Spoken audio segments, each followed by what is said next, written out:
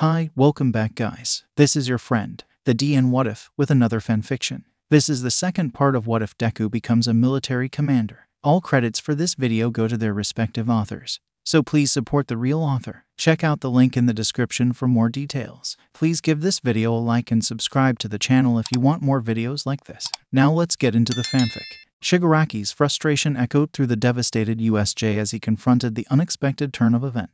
The once triumphant atmosphere now hung heavy with the realization that his grand attack had crumbled beneath the claws and fangs of wild predators. Kurogiri observed his young master's tantrum with a resigned air. Young master, it appears that the hero students have devised an unforeseen counter strategy. The animals you see have single handedly decimated our forces. The villains were not prepared for such a wild and brutal resistance. Shigaraki, still seething, glared at the lifeless bodies scattered around. Animals, I can't believe it. We lost to a bunch of animals. The irony wasn't lost on him. Villains, armed with quirks and schemes, defeated by the primal force of nature. Aizawa, restrained within the Namu's grip, couldn't help but feel a mixture of relief and horror relief that his students were unharmed, but horror at the unexpected and savage nature of their defenders. The realization dawned upon him. Midoriya Orkota, one of his students, was controlling these creatures with ruthless efficiency. Meanwhile, Shigaraki's voice reverberated through the crumbling ruins. What's the point of all this planning if it comes down to wild animals attacking us? His anger was a volatile mixture of frustration and disbelief. The meticulously orchestrated attack had unraveled in the face of a force he hadn't considered. Kurogiri tried to maintain a semblance of composure. Young master, we may need to consider a strategic retreat. Reinforcements are on their way, and we are not equipped to handle these unforeseen adversaries. Shigaraki's scowl deepened. Retreat. No, I won't accept that. I won't let them think they beat us. His hands twitched, the urge to disintegrate something growing stronger. The League of Villains' grand entrance had turned into an embarrassing retreat all thanks to the intervention of nature's own warriors. As the situation unfolded, Aizawa quietly contemplated the unexpected alliance between his students and the animal kingdom.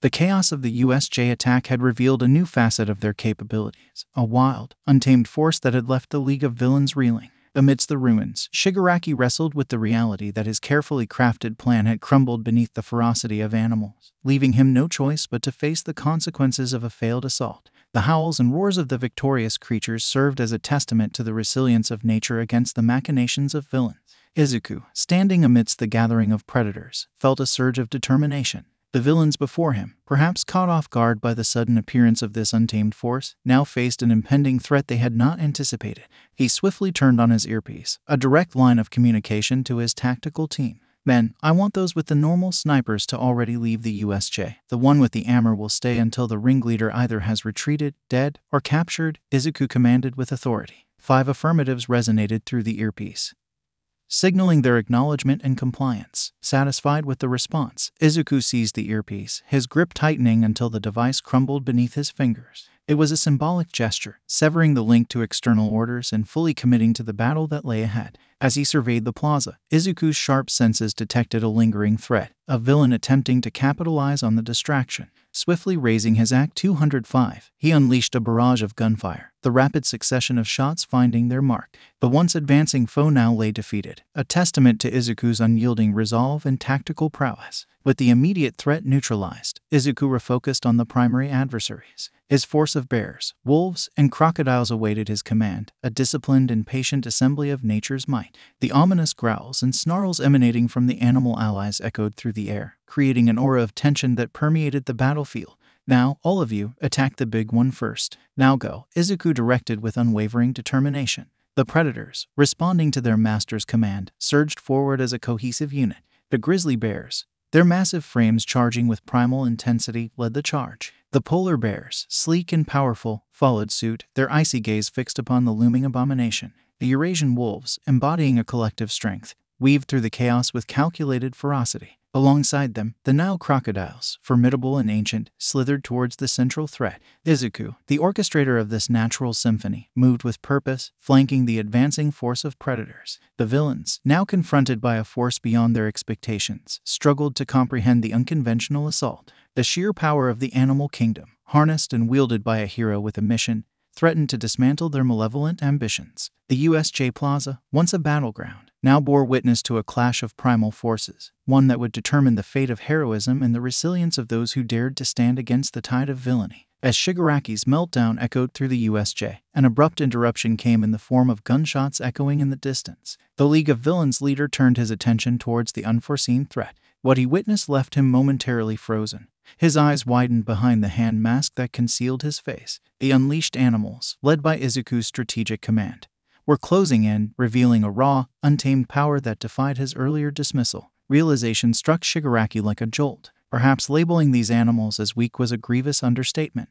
The visceral scene unfolding before him painted a vivid picture of primal dominance. As the beasts closed in on his forces, Shigaraki's earlier arrogance crumbled into a mixture of shock and fear. The initial shockwaves of laughter that had emanated from him were silenced, replaced by an unsettling uncertainty. In a desperate attempt to regain control of the situation, Shigaraki screamed, Namo, kill them. The Namu, an engineered monstrosity designed to take on the symbol of peace himself, responded with a guttural noise. In an instant, it confronted the approaching animal force. The grizzly bears, with their formidable stature, lunged at the Namu, attempting to strike a blow. However, the Namu's lightning fast reflexes proved insurmountable. Its colossal fist tore through the stomach of one grizzly bear, abruptly severing Izuku's connection to the fallen creature. The second grizzly met a similar fate, followed swiftly by the third. A lone Eurasian wolf leaped towards the Namu, but its fate was sealed as the Namu seized the wolf's head and crushed it with an overwhelming display of strength.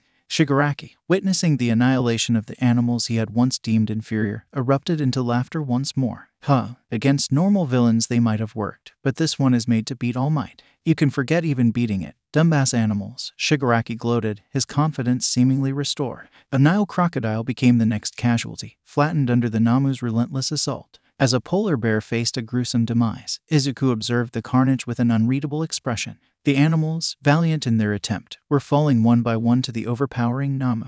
In the midst of the chaos, Izuku, acknowledging the inevitability of the animal's defeat, calmly hummed to himself. Psychotic bloodlust loomed as the only viable option against this formidable foe. A strategic decision weighed heavily on his mind. He would wait until every last one of his animals succumbed to the Namu's might. Placing them elsewhere for now seemed challenging. And so the battle of attrition persisted. The Namu stood tall amidst the lifeless bodies of the animal force, a grim testament to the relentless power it possessed. Shigaraki, convinced of his apparent victory, found solace in his deranged laughter as the USJ became a battlefield soaked in the blood of both hero and beast. Izuku surveyed the aftermath with a heavy sigh, acknowledging the inevitability of resorting to psychotic bloodlust. The plaza was now stained with the remnants of the fallen animals and the relentless Namu. A sense of determination flickered in his eyes. Oh well, he thought, embracing the grim reality of what lay ahead a killing spree. Meanwhile, a group of villains, having successfully concealed themselves during the chaotic onslaught, cautiously emerged from their hiding places, observing the Namu standing amidst the battlefield. They erupted into cheers, their twisted admiration for the creature fueled by the carnage that had unfolded. Their triumphant celebration echoed through the devastated USJ. At the main entrance, the students had regrouped, their eyes fixed on the gruesome scene in the plaza. Jiro's quiet reflection revealed gratitude toward the wolves that had saved them earlier. One of those wolves really saved our asses back at those mountains, didn't even get to thank it, she muttered, her voice carrying a mix of awe and regret. Shiozaki, a student from Class 1B, took a different approach. Deep in prayer, she sought forgiveness for both the fallen animals and villains, a silent plea to a higher power to absolve the sins of both parties involved. As the prayers escaped her lips, the crimson hue of the flooded zone served as a somber backdrop, a reminder of the bloodshed that had occurred. Asui and Minda sat in stunned silence, processing the gruesome spectacle before them. Asui clutched an APS in her hands, trembling slightly, while Minda's gaze remained fixed on the ground. Bakugo, typically unyielding in his demeanor, couldn't help but sneer at the sight. However, Kirishima, ever the empathetic friend, pointed toward the flooded zone, its crimson red waters visible from their vantage point. They saw it all happen apparently, Kirishima explained, his tone carrying a sense of understanding. The gruesome tableau had left an indelible mark on those who bore witness. Even Bakugo, in a rare moment of self reflection, felt a twinge of shame and guilt for his earlier callous remarks. The weight of the events unfolding around them pressed heavily on the hearts of the students, a stark reminder of the harsh realities of heroism. Izuku's actions reverberated with a chilling intensity as he discarded his helmet and shattered his mask, revealing a darkness that lurked within him. With a deep introspection, he tapped into the depths of his being until he found what he sought As he opened his eyes, a sinister transformation took place. The once clear whites turned abyssal black, and a twisted smile crept across his face. With the activation of psychotic bloodlust, the constraints that bound his abilities shattered. The limits imposed on his animal summoner and arsenal powers dissolved into oblivion, no longer constrained by extinction or the confines of legend. Izuku's capabilities surged to unprecedented heights. A single marble materialized in his hand, a harbinger of impending chaos. With a flick of his wrist, he launched it into the air, setting a chain of events into motion that would forever alter the course of the battle. Meanwhile, at the main entrance of the USJ, the atmosphere crackled with tension as All Might, in his formidable buff form, made a resolute entrance. His usual grin was replaced by a stern scowl as his gaze fell upon the scene unfolding in the main plaza. The magnitude of the carnage before him struck him to the core, freezing him in place as his eyes widened with each passing moment.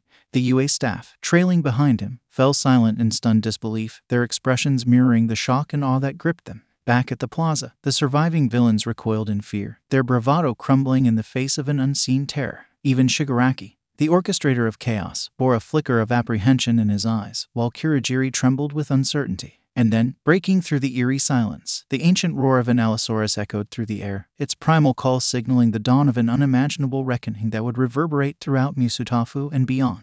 Shigaraki's trembling voice broke the tension, and in Namu, kill it. The Namu, in a rapid blink, lunged at the newfound threat. However, a shield materialized before it, halting its advance. Bohoho Nana no no. My friend here is only for the other ones. I'm the one you'll be facing, a cold and dark voice announced. A green haired teen, clad in military armor, emerged as the wielder of both the shield and a sense of ominous authority. The Namu, determined to obliterate its opponent, shattered the shield with brute force. But in response, a swift slice from the green haired teen severed the Namu's arm. A subsequent kick to the head made the Namu stumble away. Furui, go deal with the small fry, will you? The teen commanded, obeying without hesitation.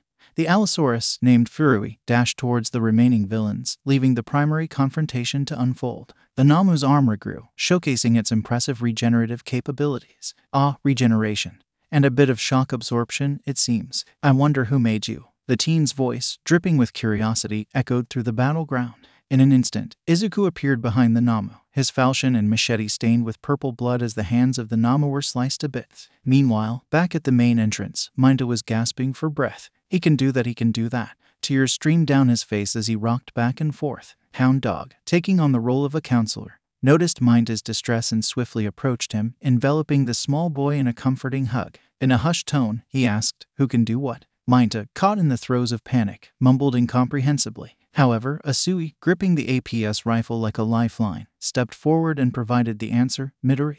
Izuku continued to soar through the sky above the Namu, which was now enduring a relentless assault. In his hand, three marbles gleamed ominously. With a triumphant grin, he declared, Here, I got some more friends for you. As the marbles shattered, three dire wolves materialized, showcasing that psychotic bloodlust had a similar effect on his summoned creatures. The Namu, already battered and bruised, faced an onslaught from the newly arrived dire wolves. One of them lunged forward and ripped the regenerated hand from the Namu while another targeted the calf, tearing into it with ferocity. A third dire wolf set its sights on the beak, biting it off with a vicious snap. The Namu, now overwhelmed by both Izuku and the relentless assault of his predatory allies, struggled to withstand the combined force of man and beast. As the Namu's parts began to regenerate, it seized one of the dire wolves, crushing it with a powerful grip. However, Izuku swiftly changed tactics. In a flash, he transitioned from soaring through the sky to appearing behind the Namu. With a decisive strike, the Namu's head was severed from its body, sent flying into the air where it shattered into a million fragments. Silence enveloped the plaza as Izuku stood amidst the aftermath of the battle. The only sounds that punctuated the quiet were the heavy thud of the now lifeless Namu hitting the ground and the gruesome tearing of flesh as the villain called Minotaurus was swallowed whole by the Allosaurus. The scene painted a stark picture of the brutal conflict that had unfolded, leaving no doubt about the ferocity of the clash between hero and villain. With the Namu defeated, Izuku turned his attention to the remaining villains across from him, a confident smile playing on his lips. Furui, you've done enough. Why don't you go visit the mind world? Eh? Furui, responding to Izuku's command, disappeared, leaving the plaza. Izuku then flipped the death switch on the remaining dire wolves. So, I find it very funny that all it took were some predators of Mother Nature to turn your league into nothing but fleshy remains. Izuku's taunting words hung in the air, and Shigaraki, fueled by rage, charged at him. However, before either of them could make a move, Lavrenti Kapinets fired his 20mm caliber rifle. The powerful round tore Shigaraki's outstretched right hand to shreds, and he cried out in pain, falling to his knees. Izuku, now standing over the wounded villain, casually placed the machete against Shigaraki's throat. The moment seemed ripe for a finishing blow, but before Izuku could execute the attack, Kurogiri swiftly warped both himself and Shigaraki out of the building. Izuku clicked his tongue in mild frustration. As his eyes returned to their normal state, exhaustion took over and he collapsed, falling unconscious. The chaotic battle at the USJ had come to an unexpected and tumultuous end. Izuku slowly blinked his eyes open, the harsh glare of the white ceiling causing a sharp pang of discomfort. As awareness gradually returned, he became acutely aware of the restrictive cuff encircling his wrist, suppressing his abilities. His mind raced to piece together the events that had led to his current predicament. With a low groan, Izuku muttered to himself, What in the flying fuck happened? His gaze drifted to the phone that materialized in his hand, a solitary contact displayed on the screen, Gaimai, with a mixture of apprehension and resignation. He initiated the call, his voice tinged with uncertainty as he spoke. Gaimai, he greeted, his tone carrying a hint of resignation. The response came swiftly, Gaimai's voice calm and collected despite the gravity of the situation. Ah, Izuku, how's it going? He inquired, a subtle undercurrent of amusement in his voice. Izuku couldn't help but feel a twinge of annoyance at Gaimai's nonchalant demeanor. Well, not good apparently, he replied dryly, his frustration evident. Got cuffed to a bed. Gaimai's response was laced with a hint of amusement. Yeah, no wonder, he remarked, his tone betraying a sense of amusement. Got reports from the Cerberus operatives. You really turned the USJ into a slaughterhouse, eh? Izuku's expression remained impassive as he absorbed Gaimai's words. The memory of the chaotic battle at the USJ flooded back, the echoes of screams and the clash of steel reverberating in his mind. Despite his efforts to control the situation, the outcome had been nothing short of devastating. But I did, Izuku conceded, his voice tinged with resignation. So, what do I do now? Gaimai's chuckle resonated through the phone, a sound both reassuring and ominous. Well, they'll probably bring you to a prison or something, he mused, his tone casual despite the gravity of the situation. Not that they'll get far. Izuku's brow furrowed in confusion at Gaimai's cryptic remark. The implication hung heavy in the air, hinting at a deeper layer of complexity to the situation. As he pondered Gaimai's words, a sense of unease settled over him, the uncertainty of what lay ahead gnawing at his resolve. Any suggestions? Izuku ventured, his voice betraying a hint of apprehension. Gaimai's response was swift and decisive. Stay calm, for starters, he advised, his tone reassuring yet cryptic. Keep your wits about you and trust in your instincts. We'll figure out the next steps together. Izuku nodded, his mind racing with a myriad of questions and uncertainties. The prospect of facing the repercussions of his actions weighed heavily on him, yet a flicker of determination burned within him. He refused to be defined by the mistakes of the past, resolved to confront whatever challenges lay ahead with courage and resilience. As the conversation drew to a close, Izuku couldn't shake the lingering sense of apprehension that lingered in the air. The road ahead was fraught with uncertainty, the path forward shrouded in shadows. Yet, amidst the darkness, a glimmer of hope beckoned, a beacon of light to guide him through the storm. With a steady resolve, Izuku braced himself for the trials that awaited him, determined to face whatever challenges lay ahead with unwavering resolve. The journey ahead would be fraught with danger and uncertainty, but he refused to falter in the face of adversity. As he ended the call, Izuku's thoughts turned inward, a sense of determination coursing through his veins. Whatever trials awaited him, he would face them head on, armed with courage, resilience, and the unwavering resolve to emerge victorious against all odds. In the heart of Kubo Scrapyard, Gaimai sat amidst the remnants of discarded machinery and forgotten relics. His surroundings, a testament to the passage of time and the cyclical nature of destruction and creation, seemed to mirror the chaos that loomed on the horizon. In his hands, he gripped an FN EVOLYS, a formidable weapon ready to be unleashed. A sudden materialization caught his attention. An old Nokia phone appeared in his hand, a relic from a bygone era. Gaimai's piercing gaze focused on the device as he dialed a number known only to a select few. The connection established, a voice on the other end inquired, Who is this? With an air of authority, Gaimai responded, Order 3, prepare mass deployment. The cryptic exchange held a weight of significance, signaling the initiation of a plan set in motion. The caller on the other end received the terse command, a directive that would set the stage for the unfolding events. As the words hung in the air, Gaimai brought the conversation to an abrupt end, crushing the phone in his grip, severing the connection. Stepping out onto the desolate streets of Kubo Scrapyard, Gaimai's demeanor exuded a sense of calculated purpose. In his hand, a white marble materialized, its seemingly innocuous appearance belying the destructive force it harbored. With a swift, practiced motion, he hurled the marble towards a random building, the impact causing it to crack. As the fissures spread, a surge of energy erupted from the shattered structure, the unleashed power of a Cooper bomb.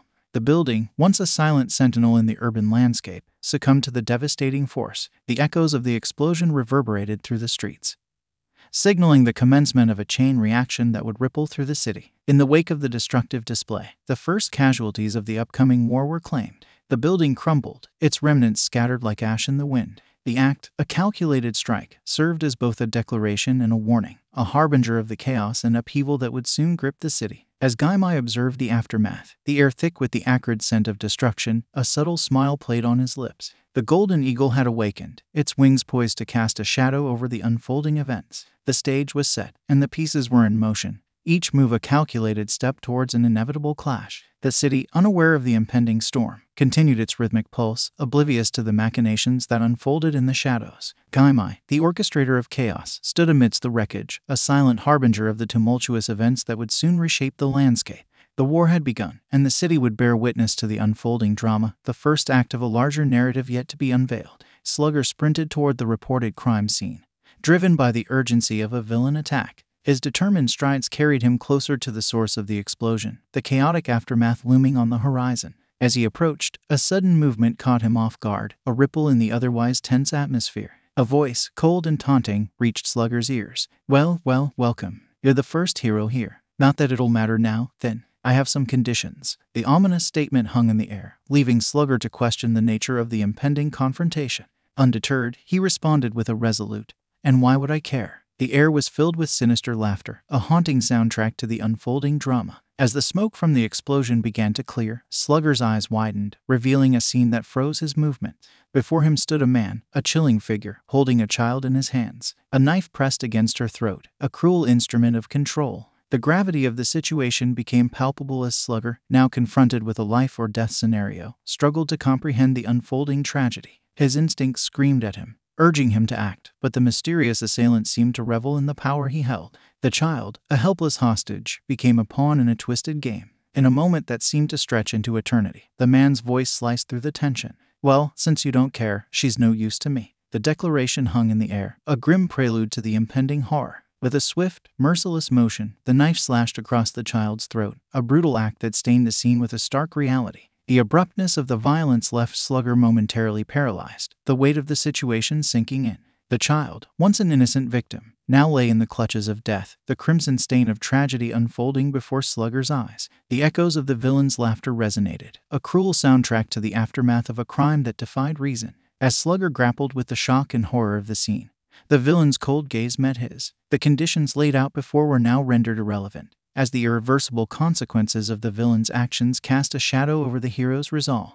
The first responder had arrived, but the cost had been a life, a stark reminder of the unforgiving nature of heroism in the face of malevolence. Slugger, his voice strained with a mix of grief and anger, managed to utter, You why would you the villain? Seemingly indifferent to the weight of his actions, chuckled in response. Once a leader of a huge country had a quote A single death is a tragedy, a million deaths are a statistic. Joseph Stalin, familiar to you. Oh well, let's get going, shall we? Before Slugger could fully grasp the situation, the villain was suddenly in front of him. The speed and precision of the movement left Slugger in a vulnerable position. Without warning, the villain's fist lunged through Slugger's chest, tearing through ribs and lung and exiting through the back. The brutality of the attack shocked Slugger, and he could feel the life draining from him. Oh my, the villain remarked casually. Bet you're regretting not caring, eh? The words hung in the air, a cruel taunt as Slugger grappled with the agonizing consequences of his inaction. The irony of the villain's reference to Stalin's quote underscored the callousness with which he treated life, reducing it to a mere statistic in the pursuit of his twisted objectives. Slugger, now on the verge of collapse, struggled to comprehend the senseless brutality he had witnessed.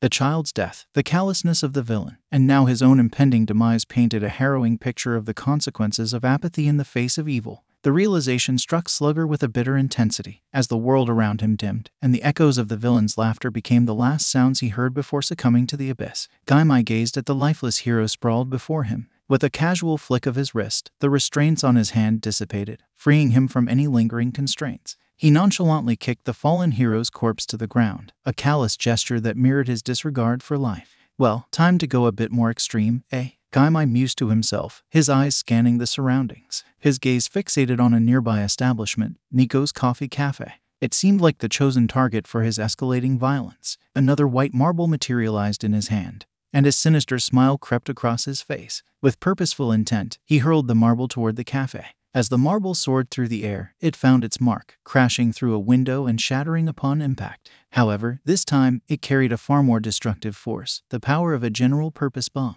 The resulting explosion engulfed Nico's coffee cafe in a blaze of devastation the flames licking at the structure as debris scattered in all directions. Gaimai, unfazed by the chaos he had unleashed, observed the fiery aftermath with an eerie calm. The once cozy cafe now stood as a smoldering ruin, a testament to the unbridled violence he was willing to unleash. The escalating scale of his actions hinted at a growing malevolence, a force that seemed determined to leave a trail of destruction in its wake. The question lingered what dark purpose drove Gaimai to such extremes, and what horrors awaited those who stood in his path? Gaimai, undeterred by the lack of response to his previous acts of violence, felt a sinister satisfaction brewing within him. Still no response. Well, more death it is, he muttered to himself with an unsettling calmness. In his hand, a new creation took shape, a white ball resembling a bowling ball, but harboring a far more malevolent purpose. With a swift and deliberate motion, Gaimai hurled the white ball toward a bustling street. As it made contact with the ground, it revealed its true nature, transforming into a cluster bomb.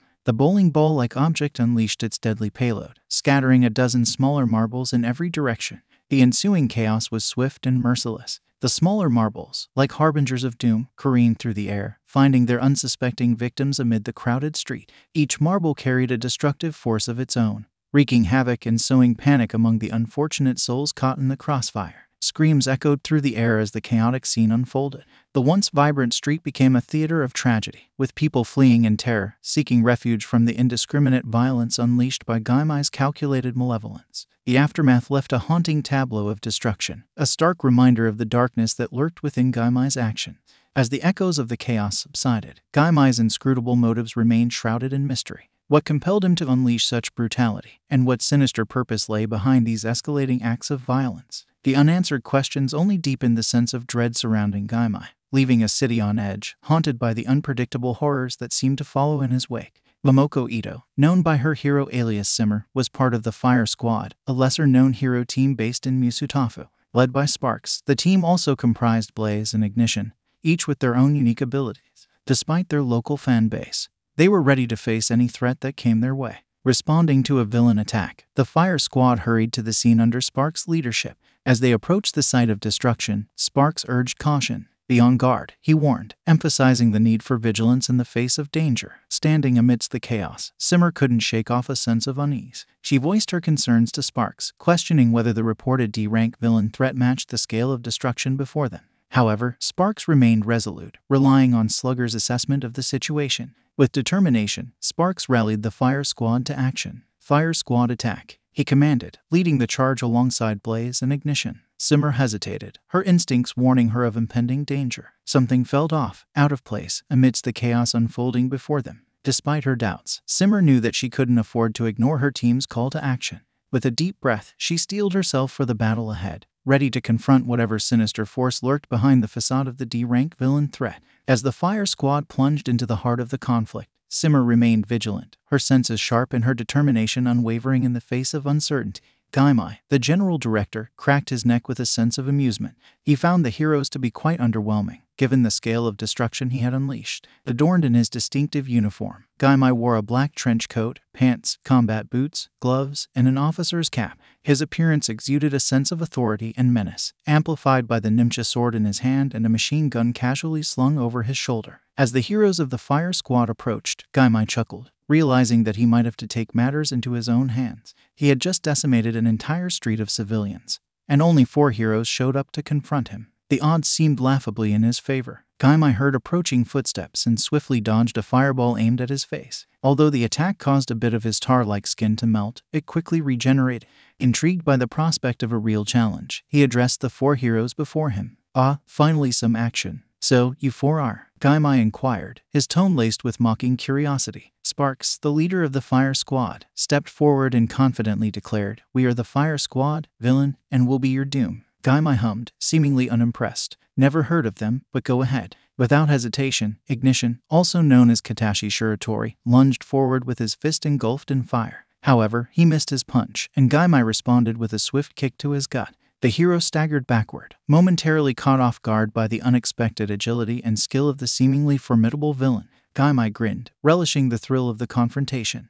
Is it the best you've got? This might be more entertaining than I thought. As the fire squad prepared for a battle that seemed increasingly one sided, Gaimai's confidence and sadistic enjoyment of the chaos continued to escalate. The clash between heroes and villain was set, and the outcome remained uncertain in the midst of the chaos that unfolded. Blaze, the fiery member of the fire squad, launched beams of fire towards the villain with determination. However, Gaimai's agility proved to be too much as he effortlessly dodged the incoming attacks. Ignition, undeterred by his previous failure, attempted another punch, but once again, the villain anticipated his move and swiftly avoided it. As the chaotic battle unfolded before her, Simmer, the support role of the fire squad, could only watch with a growing sense of unease. Her attention was drawn away from the fight, her eyes fixated on the lifeless body of Slugger, one of their own fallen comrades, lying amidst the destruction. The sight of Slugger's body amidst the devastation struck a chord of grief and anger within Simmer. Her heart pounded with a mixture of sorrow and determination as she realized the true cost of the battle they were facing. Despite her role as a support member, she felt a surge of resolve to avenge Slugger's death and put an end to the villain's rampage. Simmer's gaze shifted back to the ongoing fight. Her mind focused on finding a way to turn the tide against the formidable foe they faced. With Slugger's sacrifice weighing heavily on her mind, she knew that they couldn't afford to fail. As the fire squad continued to battle against the odds, Simmer silently vowed to honor Slugger's memory by fighting with all her strength until justice prevailed. Gaimai, feeling increasingly bored with the ongoing battle, found himself reminiscing about past encounters and more thrilling challenges, such as the confrontations with the Takuchi clan in the Night District. Despite their outdated weaponry, those battles had provided a certain level of excitement that seemed lacking in the current situation. As he effortlessly dodged yet another attack from Ignition, Gaimai couldn't help but reflect on the contrast between the current engagement and his past experiences. He found himself yearning for the adrenaline rush of those intense battles against formidable adversaries. However, his boredom was soon interrupted by the sound of a feminine voice calling out to Ignition. Gaimai glanced around and noticed that the area was surrounded by police forces, with civilians gathered nearby watching the spectacle unfold. He found it curious that they hadn't been evacuated considering standard emergency procedures dictated the removal of civilians from potentially dangerous situations. A sly smile crept across Gaimai's face as he realized the opportunity that lay before him. Seizing the moment, he extended his left hand, palm outstretched, and uttered a single word shine. With that command, a dark flame erupted from his palm, swirling into a raging inferno that engulfed the unsuspecting civilians and police officers. The sudden eruption of black flames sent shockwaves through the crowd as panic and chaos ensued. Gaimai observed the chaos with a sense of satisfaction, relishing the havoc he had unleashed upon the unsuspecting populace. To him, it was a reminder of his power and the fear he instilled in those who dared to oppose him. As the flames continued to consume everything in their path, Gaimai's grin widened, reveling in the chaos and destruction he had wrought. For him, it was just another demonstration of his dominance and the lengths he was willing to go to assert his authority. Blaze's eyes widened in horror as he witnessed the unthinkable. The villain had turned his attention to the innocent civilians, unleashing black flames upon them without remorse. The realization struck Blaze like a punch to the gut, and anger surged within him. What's wrong? Gaimai taunted, locking eyes with Blaze. You know it's their own fault. They shouldn't be so close to a fight of life and death, but they played and were rewarded with death. Blaze's scowl deepened, his anger simmering beneath the surface. They had nothing to do with this. The villain chuckled callously. Oh, really? Well, next time, get them out of here. Without further hesitation, Gaimai launched another attack. In the blink of an eye, he appeared behind Blaze, and with a speed that defied comprehension, the Nimsha sword manifested its deadly power. A sideways gash sliced through Blaze's body, and his lifeblood spurted everywhere. Blaze fell to his knees, a pained expression on his face, before finally collapsing onto the ground with a heavy thud. The brutal display left an indelible mark on the hero team, and the weight of the villain's merciless actions lingered in the air. Gaimai, reveling in the chaos he had sown, continued to taunt and strike fear into the hearts of those who dared to oppose him. As the sirens echoed across vast expanses of land, from Siberia to Korea, China, Mongolia, Russia, Belarus, Poland, Finland, the Caucasus, Baltic, and Kaliningrad, the ominous resonance signaled the activation of Order 3. The National Crisis Committee, along with its allies and puppet states, had initiated a mass deployment that rippled through military bases like a foreboding drumbeat. In army bases, soldiers mobilized swiftly, boarding trucks that would transport them to the strategic ports of Siberia, Korea, and China. Air bases buzzed with activity as pilots climbed into an array of planes, preparing for deployment. In Kurilsk, a squadron from Wing Pitter, designated AZ 9, geared up for a bombing raid on Rasu. Ten Blackburn Rocs and eight Bristol Blenheims roared to life, engines humming with lethal intent. Naval bases became hubs of movement, with both transport ships and naval vessels readying for deployment. Deep in the Ural Mountains, the labs of the National Crisis Committee Science Corps hummed with activity, churning out hundreds of clones in preparation for the impending war. Vladivostok emerged as a focal point, where soldiers from nearby army bases like Fort Pestjany, Tifriz, Balstoj came in, and others embarked on transport ships. Alongside them, formidable battlecruisers joined the convoy, marking a formidable force gathering in the shadows. Unbeknownst to the world, a clandestine protocol had been activated Protocol Eagle's Revenge. Japan, unsuspecting and unprepared, would become the first casualty in this unfolding global conflict.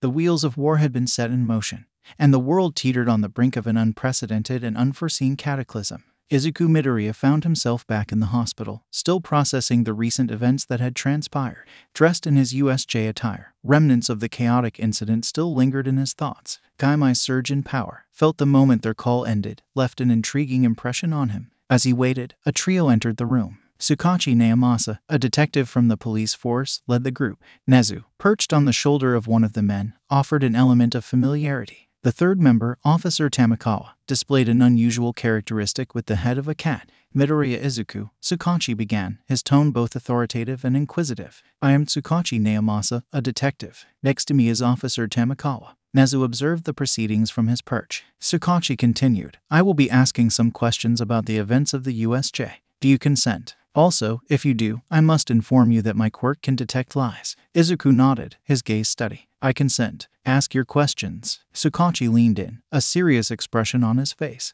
What exactly happened at the USJ? Provide a detailed account of the events as you experienced them. Izuku recounted the chaos that unfolded during the USJ incident, describing the villain's intrusion, the ensuing battles, and the aftermath. He spared no detail, offering a transparent narrative of his actions and observations. The detective listened attentively, occasionally exchanging glances with Officer Tamakawa. Nezu, the small yet astute principal, observed the proceedings with keen interest. Once Izuku finished his account, Tsukauchi nodded thoughtfully. Your cooperation is appreciated. One last question. Do you have any knowledge of the identity or motives of the villains involved in the USJ attack? Izuku furrowed his brow, deep in thought. No, I'm afraid I don't. They were masked, and their motives remained unclear to me. My focus was on ensuring the safety of myself and my classmates. Tsukauchi, satisfied with Izuku's responses, thanked him for his cooperation. If you remember anything or if there's any development, please don't hesitate to inform us. As the detective and officer left the room, Nezu lingered for a moment. Interesting times we live in, Midoriya. Keep your wits about you. Izuku, left to contemplate the interrogation, knew that the shadows of uncertainty and intrigue loomed over his experiences, and he could only brace himself for what lay ahead. Izuku's heart raced as he maneuvered through the hospital corridors, his movements calculated and precise. The weight of the pistol in his hand served as a reminder of the dangers that lurked in the shadows. Encountering an unfamiliar officer guarding the room, Izuku acted swiftly, his training kicking in. With a silent approach, he subdued the officer, his hand muffling any cries for help. The muted sound of the gunshot echoed through the room as Izuku efficiently neutralized the threat. Moving with the grace of a shadow, Izuku navigated the hospital's labyrinthine hallways until he reached the downstairs parking lot. There, amidst the rows of vehicles, stood the familiar silhouette of the ink black Monterey Mercury, patiently waiting like a loyal sentinel. Without a word, Izuku slipped into the passenger seat, the tension in the air palpable. Across from him, Gaimai sat at the wheel, his presence a silent acknowledgement of the precarious situation they found themselves in. As the car pulled away from the hospital, the night enveloped them like a cloak of secrecy. In the darkness, Izuku knew that their journey was far from over, and the road ahead promised more challenges, more mysteries waiting to be unraveled. With Gaimai by his side, he braced himself for the unknown, ready to confront whatever fate had in store. Officer Junko Idu's heart pounded as she stared in horror at the devastation that engulfed the once bustling city of Rasu. The sunlit morning had quickly turned into a nightmare, with the tranquility shattered by the piercing wail of air raid sirens, a relic of a bygone era suddenly resurrected. Sitting beside her, Officer Shija Maki, her seasoned partner, gripped the radio with urgency, seeking answers in the chaos that unfolded around them. His voice crackled through the static, a lifeline in the tumultuous storm of confusion and fear. The response from Officer Matsuda, a fellow officer, was a chilling confirmation of their worst fears. The ominous presence of planes overhead heralded a relentless onslaught, a merciless barrage raining down upon the unsuspecting city. In a heartbeat, the peaceful coffee shop where they sought solace became a battleground. the tranquility shattered by the deafening roar of explosions and the shrill cries of destruction. Blockbuster bombs and incendiary rounds descended upon the hapless civilians, transforming the once familiar streets into a landscape of ruin and despair. For Officer Idu and Officer Mackey, there was no time to dwell on the shock and horror that gripped their hearts. Amidst the chaos, they knew their duty remained clear to stand firm in the face of adversity, to protect and serve, even as the world crumbled around them. As the echoes of devastation reverberated through the shattered cityscape, Officer Idu braced herself for the trials ahead her resolve unwavering in the crucible of tragedy. In the darkest hour, amidst the ruins of Rasu, the spirit of resilience burned brightly, a beacon of hope in the shadow of despair. Squadron AZ-9 soared through the skies over Mount Rasu, the jagged peaks below reminiscent of the familiar Himalayan mountains that held memories of senior airman Sergio Donofrio's hometown in Sicily. As a machine gunner stationed in the dorsal gun turret of the Bristol Blenheim bombers, Sergio's gaze lingered on the mountainous terrain. The pilot of the plane, Benjamin Laska, hailed from Prešov, Slovakia. Like Sergio, he was among the many who sought refuge in the territories controlled by the National Crisis Committee. Europe had been ravaged by ceaseless civil wars, prompting people to seek safety and stability in the NCC's domain.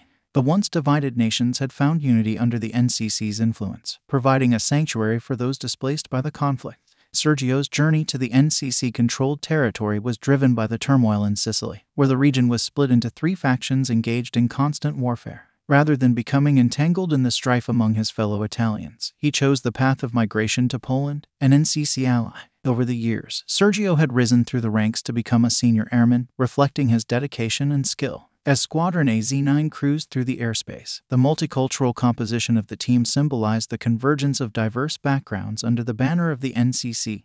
Together, they navigated the skies with a shared purpose, united by the refuge and opportunities their adopted home had provided. In the cockpit, Benjamin Laska maintained focus, steering the aircraft through the airspace with precision. The Himalayan like mountains below stood as a testament to the geographical diversity within the NCC controlled territory a landscape that mirrored the resilience of its people in the face of adversity. As the squadron continued its flight over Mount Rasu, the crew members embodied the collective strength forged from their varied origins. In the skies above, they carried not only the weight of their personal histories, but also the shared responsibility of safeguarding the NCC's vision of stability in an ever changing world. Hideyoshi Yoshino, also known as Electro Rock, sat at his desk in his vibrant agency atop Mount Rasu. The building, with its electric and watery theme, housed his hero operations. Hideyoshi's quirk, Wet Volt, allowed him to generate electric water from his palms, nose, ears, and mouth. Leading a team of psychics and two third year interns from Asakawa Hero University, Electro Rock's group worked diligently to maintain the safety of Rasu and occasionally Shibutsu. His psychic team consisted of Aquashock, Dripper, Weller, Hydro Hose, and Charge Up. The third year interns, Voltage and Volt Tide, provided additional support and learning opportunities for the aspiring heroes. Together, they formed a formidable team capable of handling various threats. As Electro Rock wrapped up paperwork for a merch deal, Aiko Tekuchi, also known as Weller, burst into the room in a state of distress. Normally on relief duty due to personal matters, Weller appeared agitated and exhausted. Between deep breaths, she conveyed urgent information about a villain attack in Rasu, signaling an a rank threat with involvement of planes. Before she could elaborate further, exhaustion overcame her, and she fell unconscious. The alarm blared, indicating a serious situation unfolding in Rasu. Electro Rock and his team sprang into action, ready to face the imminent danger. The news of an rank villain attack involving planes heightened the urgency of their response. Meanwhile, in the skies above Mount Rasu, Lieutenant Colonel Torbjorn Algren led Squadron AZ-9, escorting the bombers towards their target. The squadron leader's voice crackled over the radio, directing the fighters to clear the way for the bombers. Benjamin Laska, piloting one of the Bristol Blenheim bombers, received the signal to release the payload. With a click of a button, Benjamin unleashed the payload on the designated target, a distinctive yellow-blue building. The mission was underway, and the heroes on the ground, including Electro Rock and his team, faced the challenge of confronting the rank villain threat head-on. Ken Hashimoto, also known as Charge Up, rushed outside the building where he was stationed. The chilling breeze atop Mount Rasu carried a foreboding sense of danger. As he looked skyward, he identified 18 planes, a menacing formation of 10 smaller ones and 8 larger ones. In a sudden and horrifying turn of events, one of the larger planes released a bombing run on the Electro Rock Agency. Reacting swiftly, Ken gritted his teeth and cursed under his breath. He glanced behind him at the now devastated building.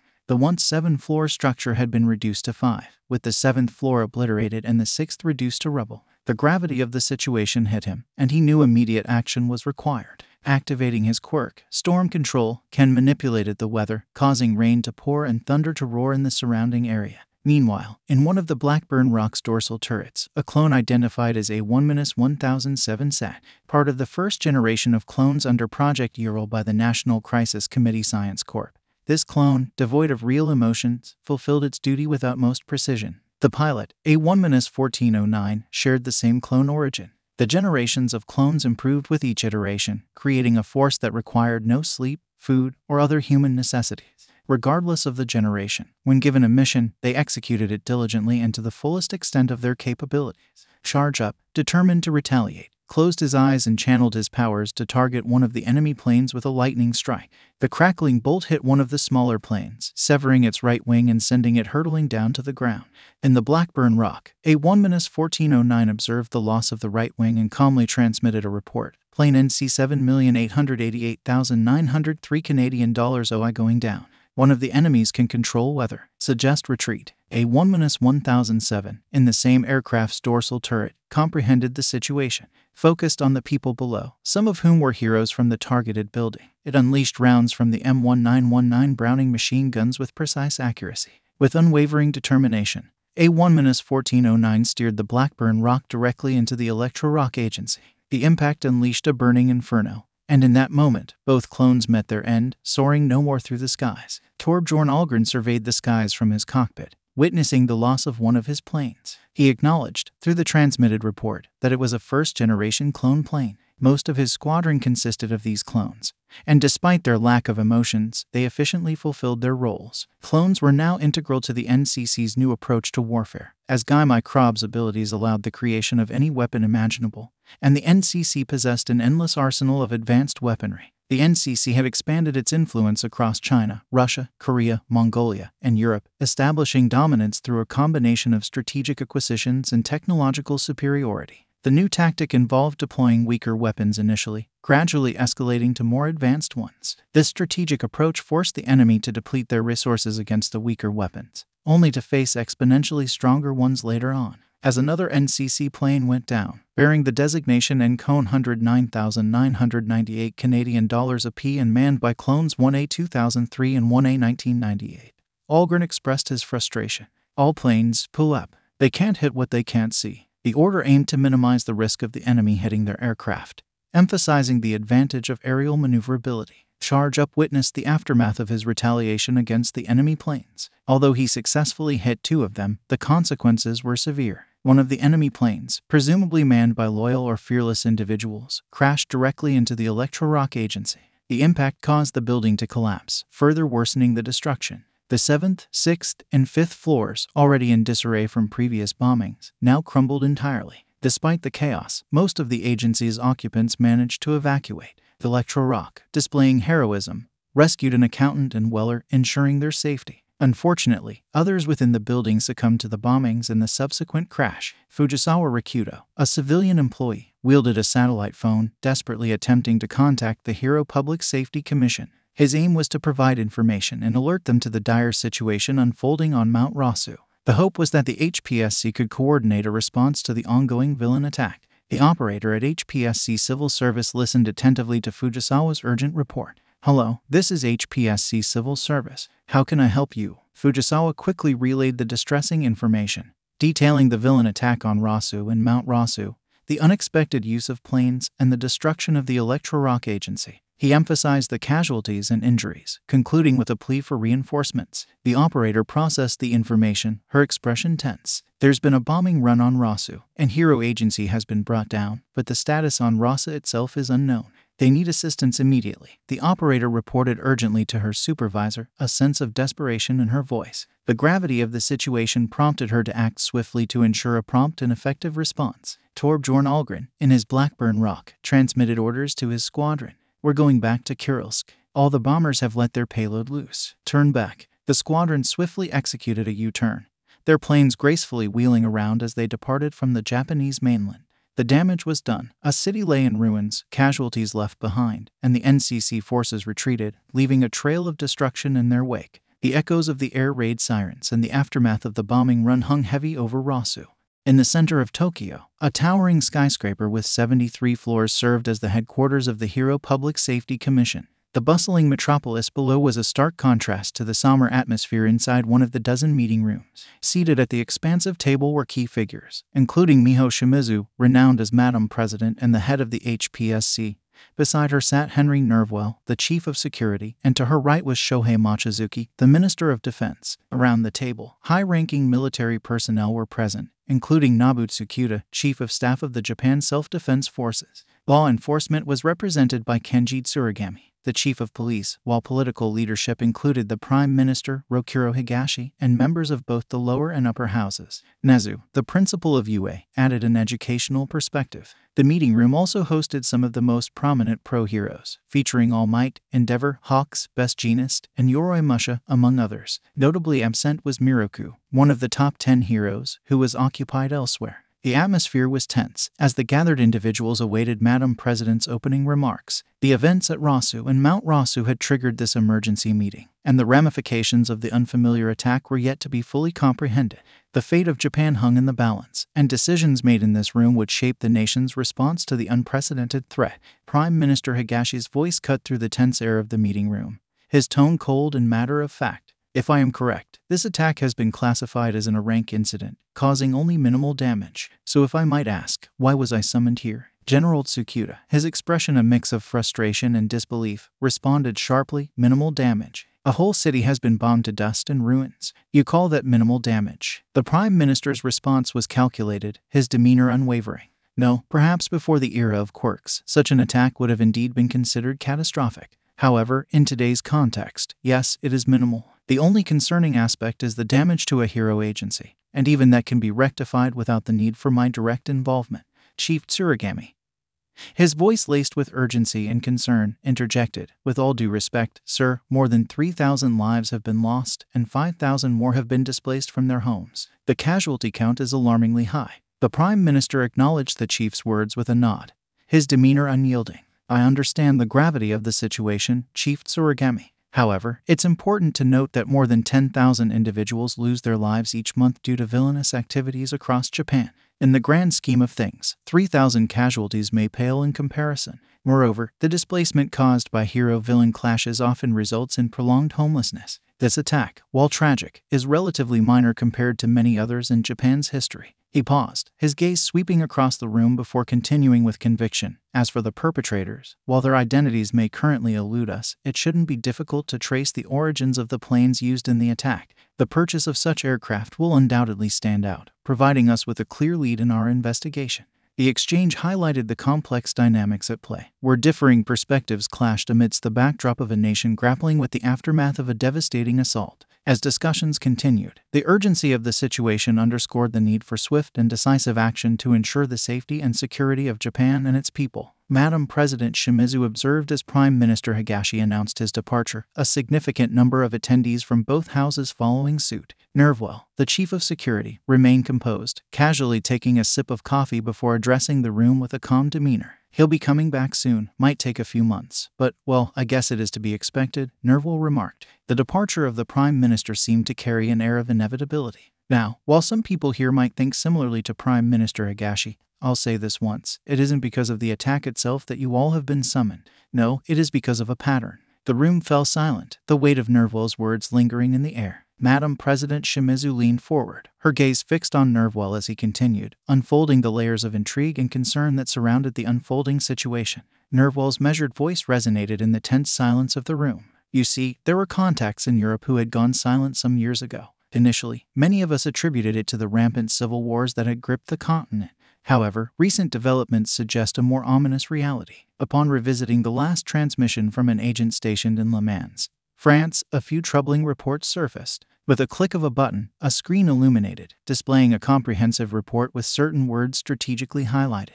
Nervewell continued, guiding the attention of the room toward the unfolding revelations. Now, for those who might still be unclear, let me elaborate. France found itself embroiled in a five sided civil war during the agent's last active years. The initial attacks involved biplanes, reminiscent of the World War I era. However, within three months, the conflict escalated to World War II era bombings. Subsequently, it progressed through the Cold War and finally reached the modern era. The concluding lines of the report state The skies are filled with Chengdu J 20 seconds, a 10 thunderbolts, and many more I do not recognize. Missiles, cluster bombs, anything that can explode has been used. The city of St. Saturnin and its surroundings lie in ruins. Last I heard, tanks of all sizes have invaded Paris and nearby Orleans. I fear this is the last report I will send. Martin Perrault. The gravity of the situation hung heavily in the room, the shared silence amplifying the impact of the report. Nerval's revelation painted a grim picture, linking the European devastation to an ominous force that appeared to have now set its sights on Japan. As the attendees absorbed the shocking details, the realization dawned that the events unfolding in Japan might only be the beginning of a coordinated, global offensive. The strategic use of outdated and progressively modern weaponry in Europe foreshadowed a meticulous plan orchestrated by a force with formidable capabilities.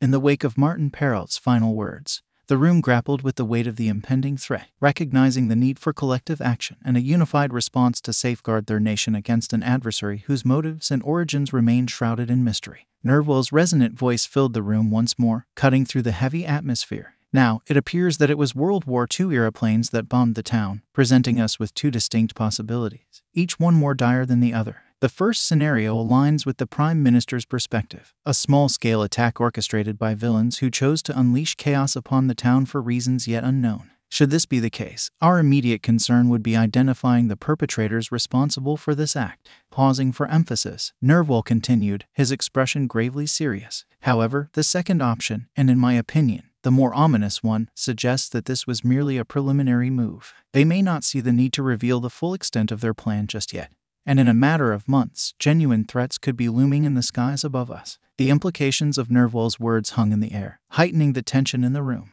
The prospect of a delayed, more substantial assault hinted at a strategic patience on the part of the mysterious adversary. As the assembled figures contemplated the unfolding threat, a sense of urgency enveloped the room, pushing them to consider the implications and prepare for the looming storm on the horizon. All Might, his voice carrying the weight of years of heroism and wisdom, interjected, Mr. Nerval, with all due respect, it seems to me that this incident in France was an isolated event. Therefore, I am inclined to believe that this recent attack falls under the category of the first option. Nerval nodded, acknowledging All Might's perspective before responding. Your observation holds merit, Mr. Yagi. However, the significance of Perrault's report lies in its detailed nature. We cannot afford to dismiss it as an isolated incident when there are similar accounts emerging from other regions.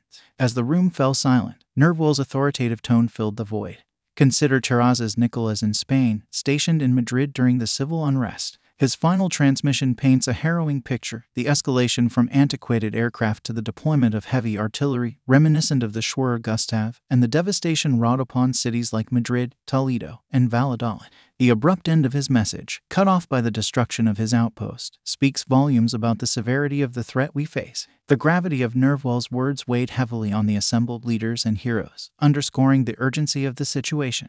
The parallels between the reports from France and Spain hinted at a coordinated effort, one that transcended national borders and posed a formidable challenge to global security. As the implications sank in, the necessity for swift and decisive action became ever more apparent, driving the conversation toward strategies for countering the looming threat. Nezu's small, furry form leaned forward, his eyes sharp with curiosity. Are there any other reports about this seemingly endless force? Nerval nodded, acknowledging the gravity of the situation. Most reports share a consistent message. They indicate that once this force initiates an attack, they show no intention of stopping. In Ioannina, Greece, Agent Kikinos Corelia reported encountering soldiers bearing a flag depicting a golden eagle against a blackish blue background.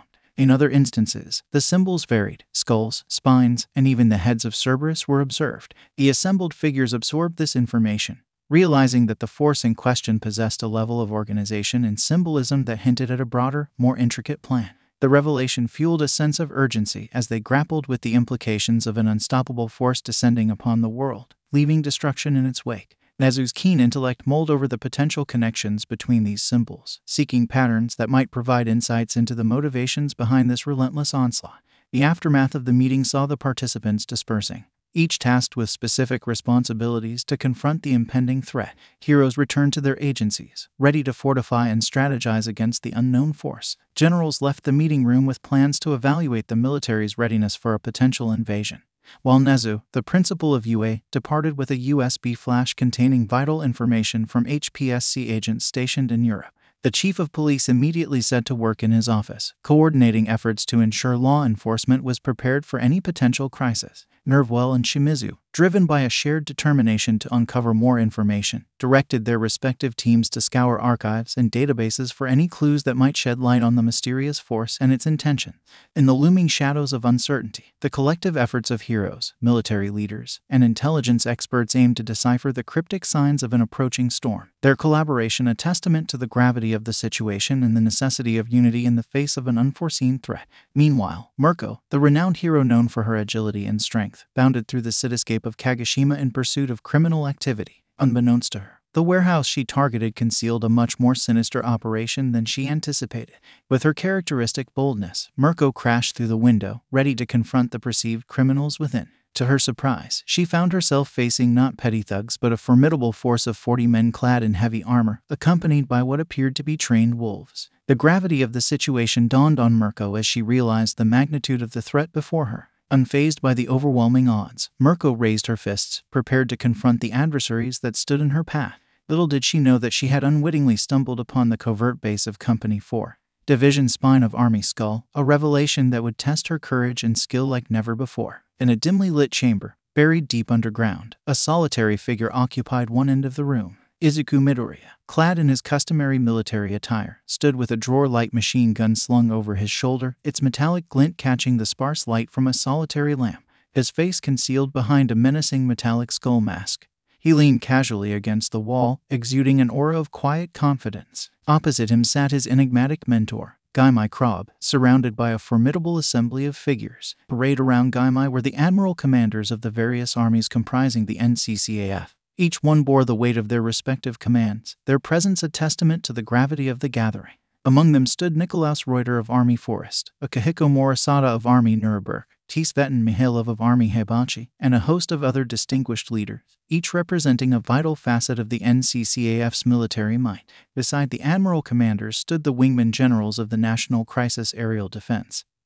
Stalwart guardians of the nation's skies, Stavros Demetriou of Major Command Defense, Goncalo Franco of Major Command Invasion, and Constant Van Dale of Major Command Training stood poised for action, their unwavering dedication to duty palpable in the air. Completing the assembly were the Grand Fleet Admirals of the National Crisis Committee Naval Defense, including Stojko Atanasov of Grand Fleet Sturmer, Oliver Cook of Grand Fleet Header, and Matthew and McPhee of Grand Fleet Harp.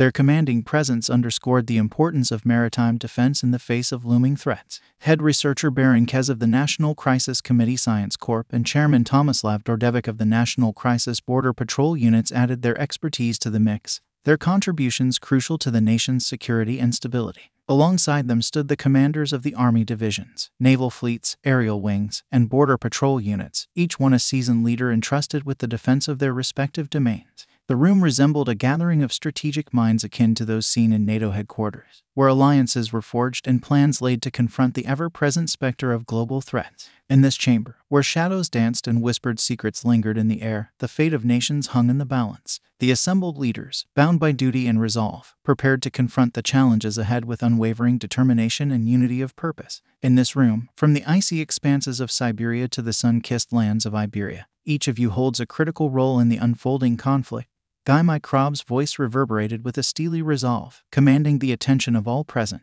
The first moves of Protocol Eagle's revenge have been set into motion, and though we bide our time, the seeds of chaos have been sown. A palpable tension filled the air as Gaimai's words hung ominously in the chamber. The League of Villains, under the sinister leadership of All for One, loomed as a dark specter on the horizon, their potential for devastation a harbinger of dire times to come. While the heroes and government officials stand vigilant, their defenses will falter within a month's time, Gaimai continued, their tone laced with calculated anticipation. The veneer of heroism and villainy has weakened Japan's defenses, leaving it vulnerable to the impending storm. Grim determination etched itself onto the faces of those gathered, each one understanding the gravity of the situation. Gaimai's words painted a stark picture of the harsh reality they faced, a world where survival reigned supreme, and allegiances shifted like sand in the wind. The moment our NCC troopers set foot on Japanese soil, they will act as the antibodies to purge the infection of heroism and villainy. Gaimai's voice resonated with unwavering conviction.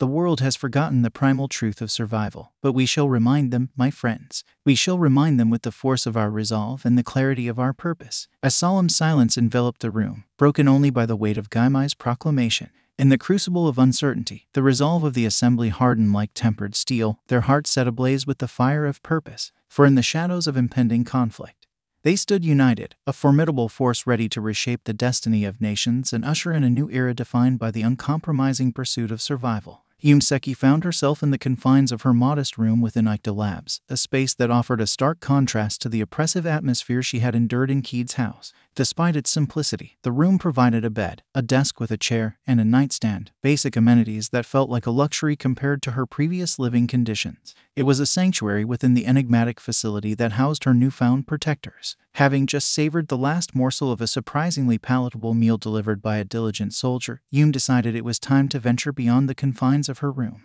The anticipation of exploration fueled her curiosity, and she wondered what secrets Ikeda Labs held beyond the confines of her temporary abode. As she approached the door, Yum could feel a mix of excitement and trepidation. Slowly, she creaked it open, revealing a vast hallway that stretched out before her. The corridor beckoned, enticing her to embark on a journey of discovery within the labyrinthine complex. With each step, Yum navigated the maze like halls, occasionally pausing to hide behind walls or other discreet corners whenever soldiers passed by. Surprisingly, her presence seemed to go unnoticed, as if the soldiers were accustomed to the presence of civilians roaming the facility. Her exploration led her past a colossal room filled with an array of towering computers, intricate buttons, and other technological marvels. The hum of machinery and the distant chatter of soldiers indicated that this was a hub of intelligence operations. Hume deduced this as she overheard snippets of conversations, catching wind of a meeting being relayed to a higher authority. The enormity of the room fascinated her, and she couldn't help but marvel at the sheer complexity of the equipment that surrounded her. Soldiers, busy with their tasks, paid little attention to the unassuming girl weaving through the sea of technology. She continued her journey, absorbing the sights and sounds of Ikeda Labs. The facility seemed like a hive of activity, with each corridor leading to new wonders and mysteries waiting to be unveiled. Hume's exploration not only allowed her to familiarize herself with the layout of the facility, but also provided glimpses into the intricate workings of the organization that had rescued her from a life of captivity. As she delved deeper into the heart of Ikeda Labs, Hume wondered about the motives and goals of the enigmatic group that had taken her in. The meeting she had overheard hinted at a level of coordination and strategy that piqued her curiosity further. Little did she know that her journey within the facility was just beginning, and each step would unravel more layers of the clandestine operations at play within its walls. Yumseki continued her exploration of Ikeda Labs, and to her surprise, she stumbled upon a lounge room tucked away from the more utilitarian sections of the facility. The room buzzed with the chatter of soldiers, their conversations creating a backdrop to the clinks of coffee cups and soda cans. It was a space where the guardians of Ikeda Labs could unwind, share stories, and perhaps find solace in the midst of their covert operation. As Yum entered, she noticed the familiar atmosphere of camaraderie among the soldiers. Some were engrossed in discussions while others enjoyed moments of respite, sipping on coffee or soda. Amidst the murmur of voices, one distinct tone caught her attention, a voice she recognized from the past. Ijin, as a Fagil, the voice spoke Hungarian, echoing through the room. Hume's ears perked up as she realized it belonged to the man who had kicked down the door during her rescue. Curiosity compelled her to investigate further. Approaching a couch in the corner, Hume saw two individuals seated there. The first was the familiar face, the man who had played a pivotal role in her liberation. Next to him sat someone unfamiliar, a figure with green curly hair clad in a black military uniform, a stark contrast to the grayish white attire worn by the soldiers in the room. However, what captured Hume's attention was the unsettling metallic skull covering the lower part of his face, leaving only his dark green eyes exposed. Eager to unravel the conversation, Hume discreetly listened as the teen, still flipping through a file, spoke, Erdem Aker. The other man acknowledged him, and with that, the green haired individual left the room. Seizing the opportunity, Yum decided to approach the man she recognized. As she passed by the mysterious green haired figure, she received only a passing glance, seemingly unperturbed by her presence. Silently, she took a seat next to the familiar man, who greeted her with a warm smile while leisurely sipping his coffee. In that moment, a silent understanding seemed to pass between them. Hume, driven by a mix of gratitude and curiosity, felt a connection with these individuals who had, in their own way, become her unlikely saviors. The lounge room, with its blend of conversation and quiet camaraderie, became a space where Yumseki, once a captive in the clutches of the Takuchi clan, found herself on the periphery of a world filled with enigmatic individuals and covert operations. Stepping out of Fort Gate, Izuku faced his first mission, the dismantling of the Shie Hassaikai. It loomed before him like a formidable challenge, but he embraced it with a determination born from his experiences. While Cerberus operated independently under Army Undead, Izuku recognized the invaluable assistance they could provide in terms of intelligence and surveillance. Delving into the organizational intricacies of his forces, Izuku made a strategic decision, despite Cerberus not officially being part of his army. He enlisted their support, aligning them with Division Fisher. Within this division, he meticulously selected three companies to join the mission Company A, Company B, and Company Y. This calculated move resulted in a deployment of 750 men each soldier representing a crucial piece in the intricate puzzle of dismantling the Shie Hassaikai. As Izuku prepared for this daunting endeavor, he couldn't help but draw parallels to the past. The name Takuchi echoed in his mind, reminiscent of challenges faced and overcome. This mission, Takuchi 2.0 as it seemed, invoked a sense of purpose and resolve. The weight of responsibility bore down on Izuku's shoulders, but with his chosen forces and newfound strategies, he approached the task with an air of confidence, ready to face whatever challenges awaited him in the pursuit of justice. Standing resolute in the harbor of Teichama, Izuku surveyed the intricate ballet of troop deployment. The moon cast a silvery glow on the restless waters as massive ships, shrouded in darkness, strategically positioned themselves out of sight. A carefully orchestrated dance unfolded in the dead of night with smaller vessels discreetly ferrying soldiers to the shore. Accompanying this covert operation were formidable war machines, a fusion of eras as four Mark II tanks, three ARTV divided by four, and five M1917 light tanks stood poised for action. The sheer audacity of utilizing relics from the Great War intrigued Izuku, a testament to the unconventional methods devised for the mission. As if stepping through the annals of history, these machines, though outdated, were ready to leave their indelible mark on the present. Despite the historical throwback, Izuku found solace in the fact that the soldiers donned modern armor, offering a semblance of familiarity amid the temporal dissonance. The weaponry, a mix of FNP 90 seconds, franchise SPAS 12 seconds, and AAI ACRs, provided a bridge between eras, seamlessly blending the contemporary with the remnants of the past. Izuku grappled with the surreal nature of his mission. The dichotomy of ancient war machines juxtaposed against soldiers armed with weapons from a semi modern era added layers of complexity to the narrative. Yet, amidst the temporal melange, Izuku's determination remained unwavering, a beacon guiding his forces through the uncharted waters of Operation Teichama Landing. Tomura Shigaraki reclined in a dimly lit booth at the heart of the League of Villains base, their notorious bar. Behind the counter, Kurogiri, the loyal servant, meticulously cleaned a glass. Meanwhile, Tomura's gaze fixated on what once was his right hand, now replaced by a cold, metallic prosthetic. The fateful sniper shot had mercilessly torn through most of it during the unsettling events at the USJ. In the quiet solitude of the bar, Tomura grappled with the stark reality that he could only satisfy the persistent itch on his neck using his left hand. The physical manifestation of his past encounter served as a constant reminder of the challenges and setbacks he faced. As the leader of the League of Villains, disappointment lingered like a haunting specter, a testament to the harsh toll exacted by their ongoing conflict. Sensei's voice echoed through the confines of the League of Villains base, emanating from the television. Tomura, do not mope around with your hand. If you have a setback, you must find a way to overcome it, Sensei's commanding voice advised, cutting through the dim atmosphere of the bar. The reminders were clear. Failure was not merely a dead end, but a chance for growth. And while the USJ was a failure, it was also a success, as the heroes have lost a valuable ally. The words hung in the air, both a rebuke and an encouragement. Tomura, still grappling with the physical reminder of his defeat, absorbed Sensei's wisdom. The line between success and failure blurred in the complex dance of their ongoing conflict. And Tomura found himself at a crossroads, contemplating the path forward for the League of Villains. What do you mean, Sensei? Tomura questioned, seeking clarity in the cryptic message. Sensei, ever enigmatic, leaned into the explanation. What I mean is, the one with the animal quirk has seemingly defected. When they held him trapped in a hospital to arrest him, he managed to escape. So, while he might not be a current League of Villains member, maybe in the future he will prove to be a valuable asset. The revelation added a layer of intrigue to the situation. A potential ally, once deemed an adversary, was now on the loose, and Sensei saw an opportunity in this unexpected turn of events. Tomura pondered the possibilities, his mind weaving through the intricacies of alliances and betrayals that define the volatile world of villains and heroes. As Sensei spoke, Tomura's mind involuntarily connected the dots. He knew exactly who his master was referring to that boy, Midoriya Izuku. A surge of emotions swept over Shigaraki, emotions he had long buried beneath layers of disdain and apathy. However, this time, a new and unsettling feeling emerged from the depths of his consciousness fear. The name echoed in his mind, a reminder of an encounter that left an indelible mark on Shigaraki. The boy with a tenacious spirit and a power that defied the norms had not only thwarted their plans but had also managed to elude capture. The unpredictable nature of this unexpected adversary sent a chill down Shigaraki's spine, awakening a sensation he hadn't experienced in a long time.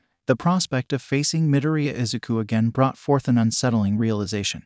The League of Villains might have underestimated the gravity of their encounter with the young hero. Sensei's voice, laced with a mix of disappointment and anticipation, continued to reverberate through the bar. But now we must seek newer members. How did the talk with Stain go? Kurogiri, maintaining his composure, responded, Not good, sire. His view would make him side with the heroes if it really got that far. A heavy sigh emanated from Sensei, acknowledging the setback. As expected, so he's back in Hosu right. The question hung in the air, the implications clear. Stain, the once considered ally, had become an unreliable asset, leaving the League of Villains in a precarious position. Sensei's pursuit of recruiting like minded individuals faced yet another obstacle, one that required a strategic reevaluation of their plans. First Sergeant Major Andrej C. Verbulize, now elevated in rank due to the proliferation of 5th, 6th, and 7th generation clones, found himself alongside Sergeant Stanislav Liepa and Master Sergeant Mihail Zaglaitis, all hailing from Latvia's Kuldiga. Their shared history, reaching back to childhood,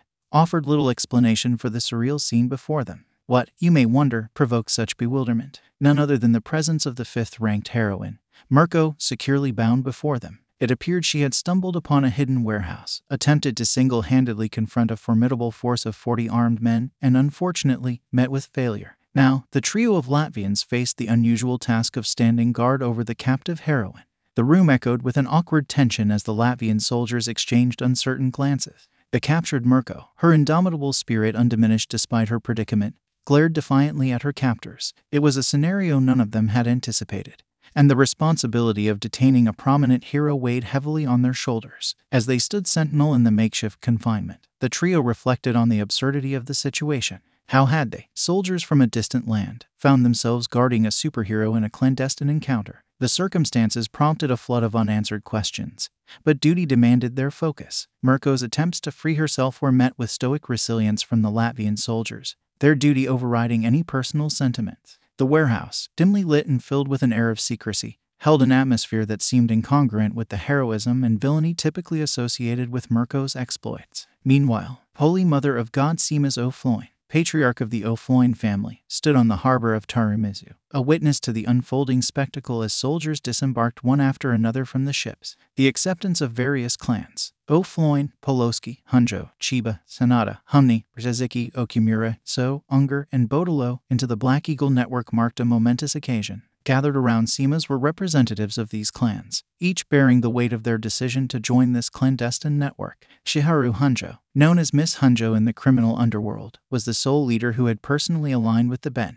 The others had opted to send emissaries to represent their interests. Before them unfolded a display of power and unity. Five different companies from Division Spine, operating under the banner of Army Skull, the arsenal at their disposal included tanks, APCs, artillery, and even horses, illustrating the comprehensive nature of their military force. As Seamus surveyed the scene, he couldn't help but marvel at the convergence of diverse clans under the Black Eagle network. The air crackled with anticipation and a sense of historic collaboration, transcending regional and familial boundaries for a shared purpose. The representatives, standing shoulder to shoulder, exchanged nods and subtle gestures, silently acknowledging the gravity of their decision the harbor, once a symbol of trade and commerce, had transformed into a staging ground for a formidable alliance. The soldiers, clad in the distinct insignia of Division Spine, moved with practiced precision, a testament to the training and discipline instilled in them. The acceptance of the clans into the Ben represented not only a consolidation of power, but also a strategic alliance capable of influencing the delicate balance of power in the criminal underworld. Seamus O'Floyne, patriarch and key player in this intricate game,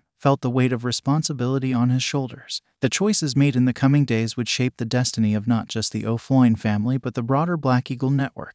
As the representatives conferred and strategized, the harbor echoed with the sounds of military preparations, boots on the ground, the rumble of engines, and the occasional whinny of horses. Seamus O'Floyne, surrounded by allies and newfound partners, braced for the challenges and opportunities that lay ahead in this unprecedented chapter of the criminal underworld's history. In the midst of the unexpected tableau, the soldiers couldn't help but ponder the intricacies of the global conflicts they found themselves embroiled in. Their service, initially rooted in the defense of their homelands, had evolved into a complex web of alliances, conspiracies, and encounters with extraordinary individuals. As the hours passed, the room remained a tableau of contrasts. The Latvian soldiers, symbols of disciplined order, juxtaposed against the bound hero, a symbol of unconquerable will. The trio continued their duty, mindful of the responsibilities bestowed upon them, yet unable to shake the surreal nature of the circumstances they found themselves entangled in. Company F, Company G, Company H, Company J, Company K, and Company L. The authoritative voice of Command Sergeant Major Reed Christophers reverberated across the assembly.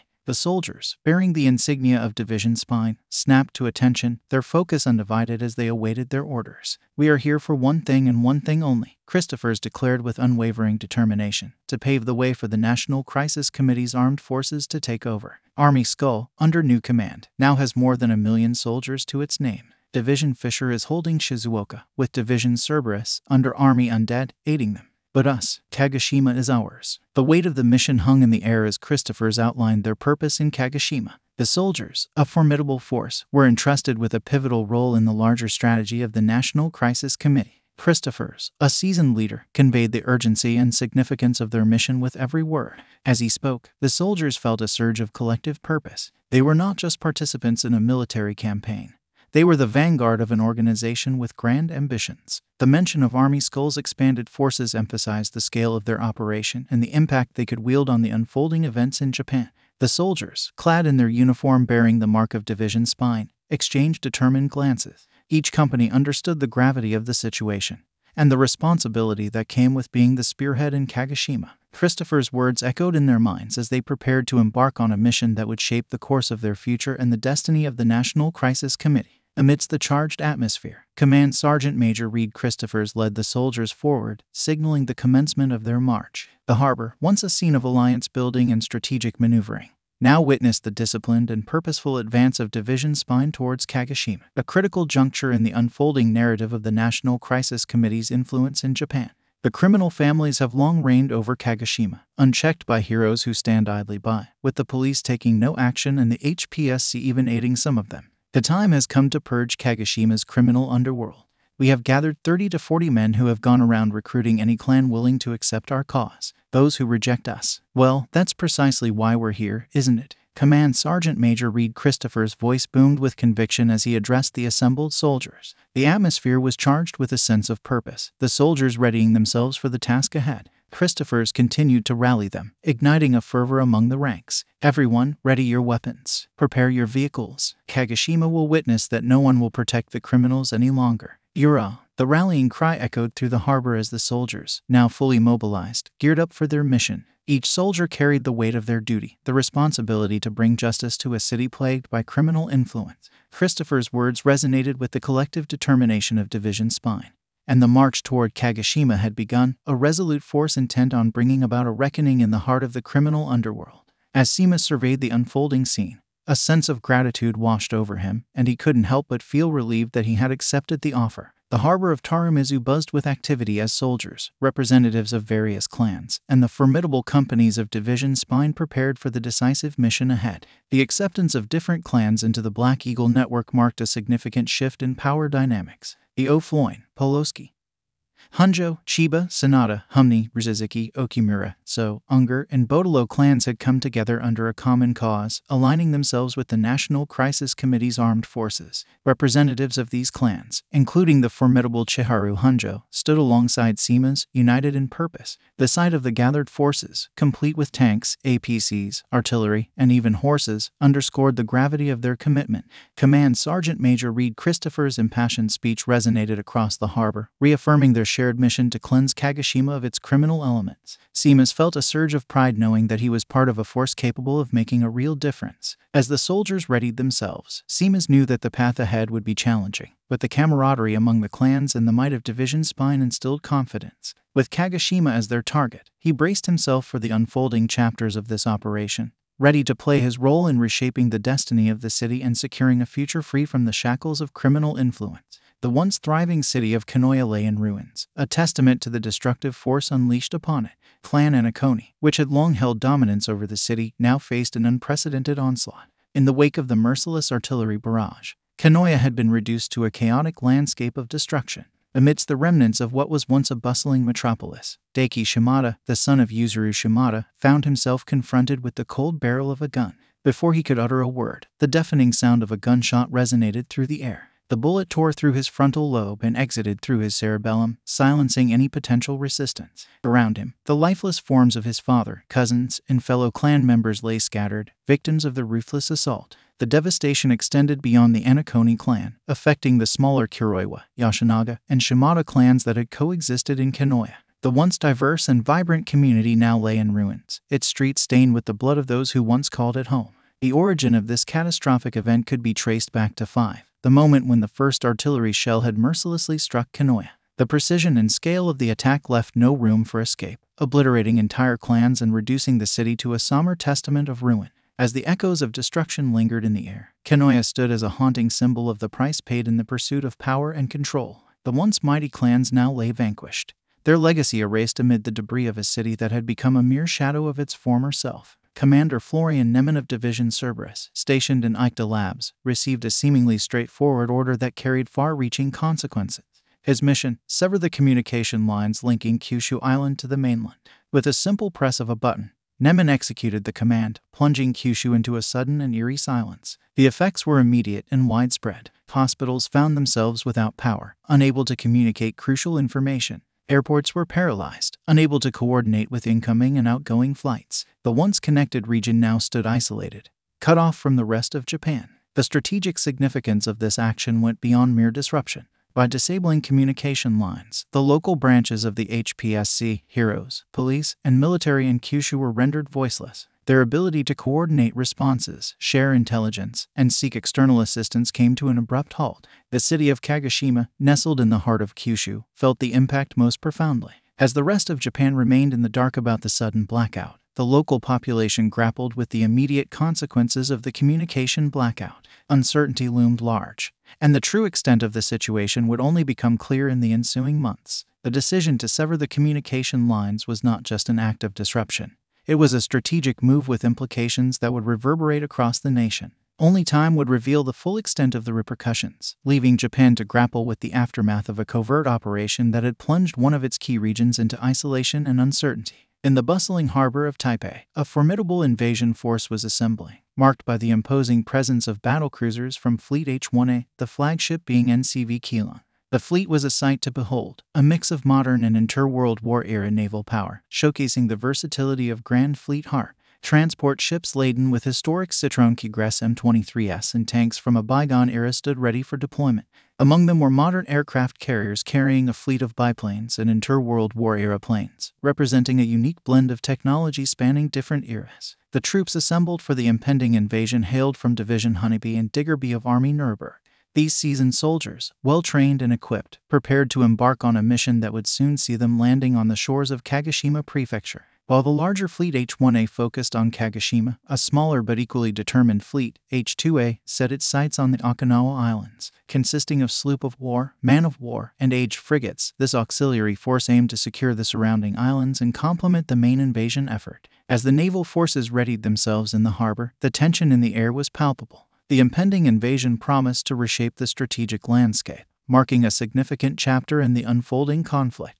The combination of historical and modern military elements underscored the gravity of the operation, as both Grand Fleet Harp and Army Nuremberg prepared to project their might onto the shores of Kagoshima. The massive battlecruiser, NCV Shengmen, slowly began to raise its anchor, a colossal piece of machinery creaking against the weight it held. The surrounding ships, equally imposing in their stature, followed suit. The sea beneath them seemed to hum with anticipation as the formidable fleet H-1A commenced its journey towards the distant Kagoshima prefecture. The naval convoy, a mix of sleek modern vessels and echoes of bygone naval eras, set forth with a purposeful and determined demeanor. The wake left in their path marked the beginning of a mission that would unfold on the shores of an unfamiliar land. As the fleet sailed through open waters, the crew aboard each ship engaged in their respective duties.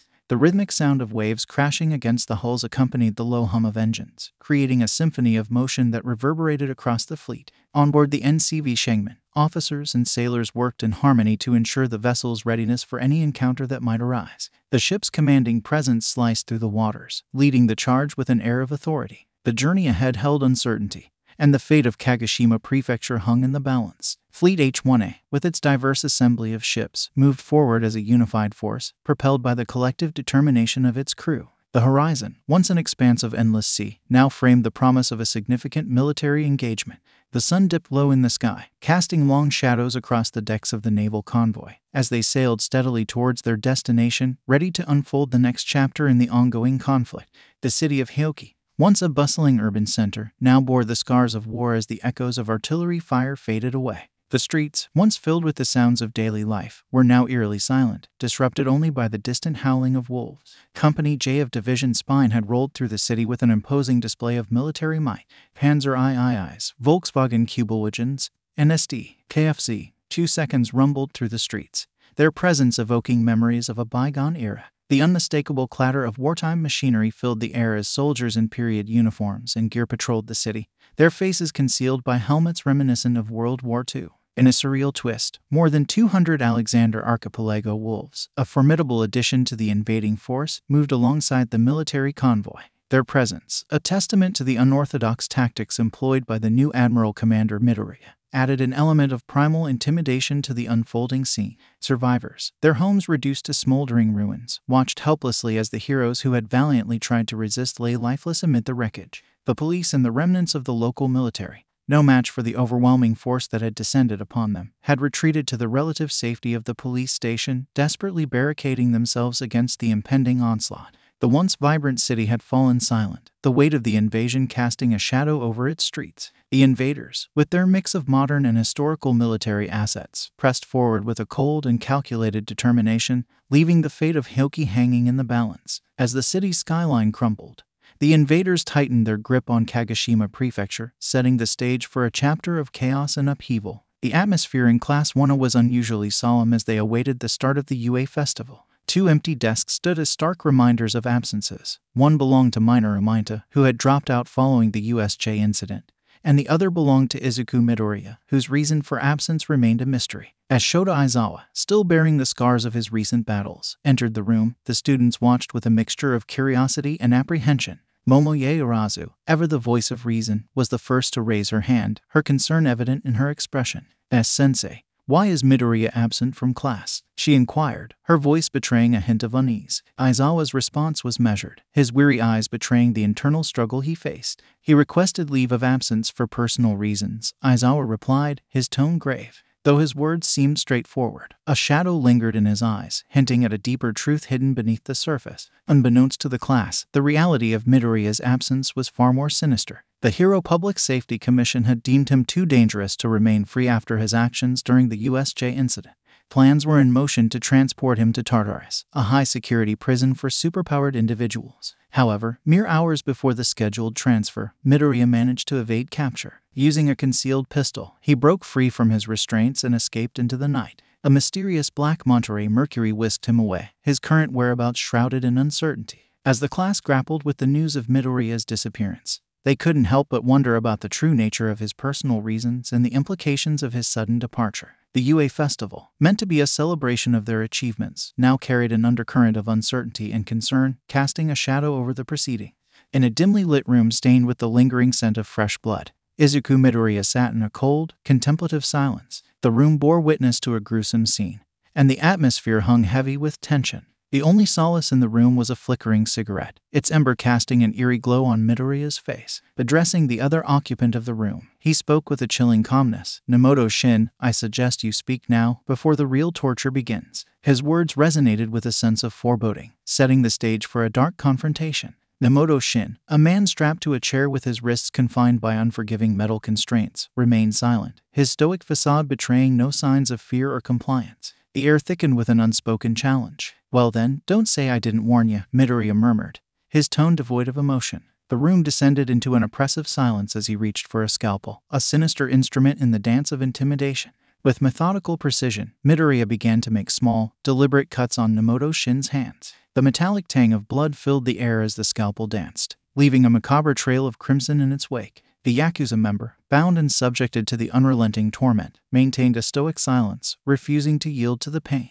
As each cut marked a moment of brutality, the room bore witness to a clash of wills, Midoriya's relentless pursuit of information against Nemoto Shin's unwavering resolve. The shadows in the room seemed to grow darker, mirroring the depths of the darkness that had consumed Midoriya's soul. The fate of Nemoto Shin hung in the balance, entwined with the enigmatic circumstances surrounding Midoriya's sudden disappearance from UA. The consequences of this twisted interrogation promised to cast a long shadow over the unfolding events, leaving a trail of unanswered questions in its wake. In the aftermath of the grim interrogation, Izuku Midoriya found himself immersed in a web of intrigue. The report in his hands unveiled a disturbing revelation bullets crafted with the blood of a child, capable of erasing quirks. The cruel ingenuity behind this sinister creation echoed the depths to which the Yakuza had sunk. The child's quirk, labeled Rewind, held the potential to undo the very fabric of existence. As Izuku delved into contemplation, his mind wrestled with the implications of his own abilities. Gaimai, the enigmatic force that propelled him beyond the realm of humanity, possessed powers that transcended quirks. The revelation that there might be more to his abilities than initially perceived left Izuku grappling with a new layer of uncertainty. The report not only provided insights into the drug erasing bullets but also unveiled the location of the Shie Hassaikai compound. Armed with this crucial information, Izuku knew that the time for decisive action had come. His phone, gripped tightly in his hand, became a conduit to unseen forces as he dialed a singular number, that of Command Sergeant Major Herbert Konigsman, the leader of the formidable company A, B, and Y. As Konigsman's voice resonated through the line, Izuku's command was clear and resolute. Konigsman, ready the forces for a raid. The urgency in his tone conveyed the gravity of the impending mission. The clash between Cerberus and the Shie Hassaikai, each harboring their own shadows and secrets, promised to unravel a saga of darkness that had remained hidden for far too long.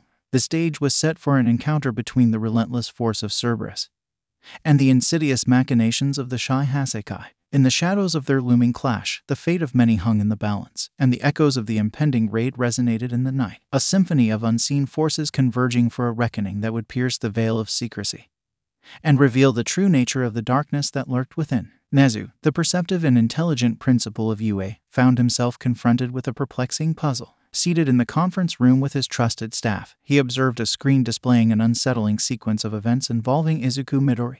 The footage captured Midori waking up in his hospital bed, engaging in a mysterious conversation over the phone, and swiftly dispatching an officer with a concealed pistol. The revelation that a small mouse had been covertly listening and from the vents of UA added an additional layer of intrigue.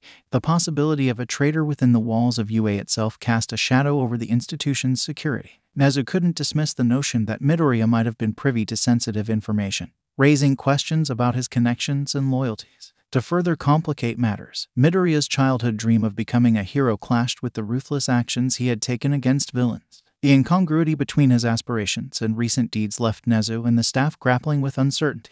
In an effort to unravel the enigma, Nezu had conducted a thorough interrogation with Midoriya's mother, hoping to glean insights into the young man's motivations. However, the information only deepened the mystery, leaving Nezu to ponder the complex web of deception that surrounded Midori. As the staff contemplated the implications of these revelations, the specter of a traitor within UA and the conflicting nature of Midoriya's actions loomed large. The shadows of uncertainty stretched across the once hallowed halls of UA, and Nezu knew that untangling this web of deception would require more than just keen intellect. It demanded a confrontation with the elusive truth that lay at the heart of the enigma called Midoriya Izuku. So what? It was probably just an act, scoffed Vlad King, known to family as Sekijiro Kan. Eraserhead, or to friends, Shota Aizawa interjected. Apparently, he had always, since he could talk, wanted to be a hero, and doing an act at age three or four would be very unlikely. Vlad King sneered, so, he'd probably changed somewhere between life before UA. He was quirkless for most of his life, right? So that means that he probably had something happen to him that made him go to villains. And he's a teenager, it wouldn't be very hard to catch him, right Nezu? Nezu was dead silent, and Sekijiro's face began to fall a bit. Unfortunately, Nezu began, the police have searched the entire Musutafu, and with his abilities to create birds, he would see any threat coming from miles. Not only that, but we don't know the driver of the car that drove him away. The room was filled with a heavy silence as the implications of Midoriya's disappearance and the uncertainties surrounding his allegiance hung in the air, casting a pall over the once confident educators of UA. All Might, or Toshinori Yagi, sighed deeply. It's such a shame to see such great potential go to villainy. Nezu shook his head and then spoke, according to the testimonies of both Asui Tsuyu and Mineta Minoru. When both students asked why he had so ruthlessly killed the water villains by making the waters infested with sharks, piranhas, and crocodiles, Asui stated that heroes aren't supposed to do that. He replied with a simple who said I wanted to be a hero, so it appears that Kan's perspective does hold some truth. The weight of disappointment and confusion lingered in the room, leaving an uneasy atmosphere among the gathered heroes. This time Present Mic, or Hizashi Yamada, spoke up, but at the exams he was doing his best, not forced best. Why would he do that? Nezu then answered. That raises our third issue. After seeing how he talked to Shigaraki or treated the other villains, it has been concluded that he doesn't work with the League of Villains. Now then, the problem is that we are not sure who he would be siding with, but there is one suspect, and after today, believed to be the main cause of Izuku's change of heart, a man by the name of Krob Gaimai. On the screen came a photo of the supposed suspect. The man's notable features were ink black hair, the whites of his eyes void black, his irises bright white, a smile that seemed to carry a tone of danger. But the most notable of them all was his skin made of tar, not just the color, but seemingly composed of actual tar. The photo showed him from the head to the shoulders, wearing a white shirt with a black tie and a tan campaign hat. Nezu continued, This man is the founder of multiple small companies, all under one conglomerate, Eagles Incorporated. He owns a weapons company called Krob Weapons Industries, a few scrap yards under the name Rosenfeld Scrap Dealers, and multiple stores under Badger Everyday Store, all located in the Night District. And do you want to know an interesting detail? He is a cousin to Midoriya's father and, therefore, an uncle of Midoriya, one whom Midoriya met just before the UA exams. Now, that isn't the main issue, Nezu continued. However, there was a villain attack in the Night District a few minutes before Midoriya escaped, and who might have done that attack? A new photo is shown. This time it's a blurry one. Right before the camera was a black blur. Those are flames. The man who took this photo is dead. But the phone survived. Now, let's take a closer look. Just in the corner of the camera was another blur. It was a figure. The skin of this figure was tar black. Glowing white dots were all that was seen of the eyes, and his left hand was aimed at the camera. And with that, the pieces fell into place for most of the people present. He's the one who did the attack, right? Yagi asked. Nezu nodded. He's the main suspect. Now, when the police tried to find his house, nobody was there. After a few hours of searching, a gas leak blew up the house, taking the investigators with it. All his assets were to be seized, but they were all already empty. Not only that, but a day before the first day of UA for the first years, a criminal clan that ruled the eastern part of the Night District was brutally killed, while the real perpetrators of the massacre are still unknown. There are witnesses who claim they saw one of the men without a mask. That man had ink black skin, and his eyes seemed to glow, indicating that Krob Gaimai is also the main suspect in that case. Midnight, or Nemuri Kayama, sighed deeply, the weariness evident on her face. So, we have one student who dropped out, another defected to a villain, an unknown villain who just made himself known, and reporters demanding an explainable story. This isn't how I imagined the new year to start. Eraserhead, also known as Shota Aizawa, added his thoughts, and I still need to tell the students the real story. For now, I've informed them that Midoriya is on requested leave, and that will only last two weeks, Nezu hummed thoughtfully.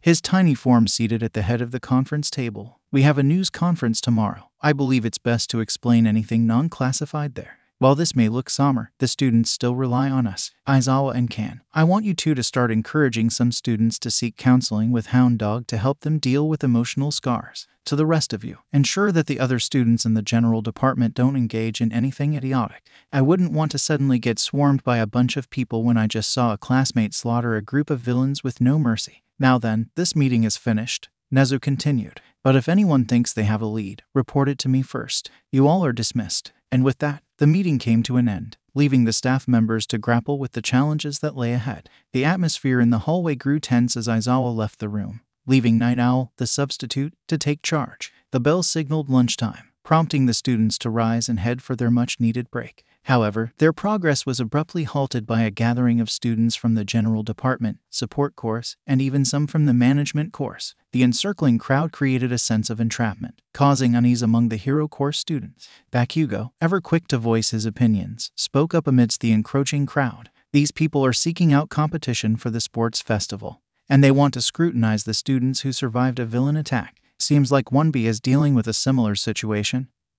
He sneered. Indeed, the students of Class 1B found themselves surrounded by peers from other courses, amplifying the tension. Out of the way, shitbags. Bakugo's declaration reverberated through the hallway. Murmurs and hushed conversations followed. Some expressed surprise at finding someone with such an attitude in the hero course. Others questioned whether the hero course was truly filled with such disdainful individuals. Amidst the commotion, a purple haired student stepped forward, offering a cryptic piece of advice. Well, can't say I'm surprised, but you all should make sure that you don't lose that position. Confusion swept through Class 1 until Momo Yaoyorozu provided clarity. He's talking about replacing us. In the sports festival, if a general education student is deemed to perform better, they can remove one of us and replace them with that student.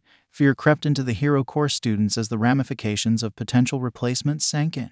Whispers of concern echoed through the crowd. However, one voice spoke out against the audacity of the situation. The nerve muttered someone in the crowd. The purple haired student, catching wind of the comment, attempted to respond, but before he could finish his sentence, a swift tongue slap from Tsuyu Asui silenced him. You don't know anything, she exclaimed, leaving a stunned crowd in her wake as she stormed off. As the students who had surrounded Class 1 had dispersed to tend to their hunger, the hero course students made their way to the cafeteria. Fate, it seemed, had dictated that only two tables were unoccupied, forcing the first year hero classes, 1A and 1B, to sit adjacent to each other. Despite the tension from the earlier confrontation, some students found solace in engaging conversations with their counterparts from the sister class. At the right corner of the table, Tsuyu Asui sat in silence. Numerous attempts were made to inquire about her well being, but she remained tight lipped. The students at the table, however, sensed the weight of her trauma. As one of the closest witnesses to Midoriya's rampage, Asui had endured the horrifying spectacle alongside Mind.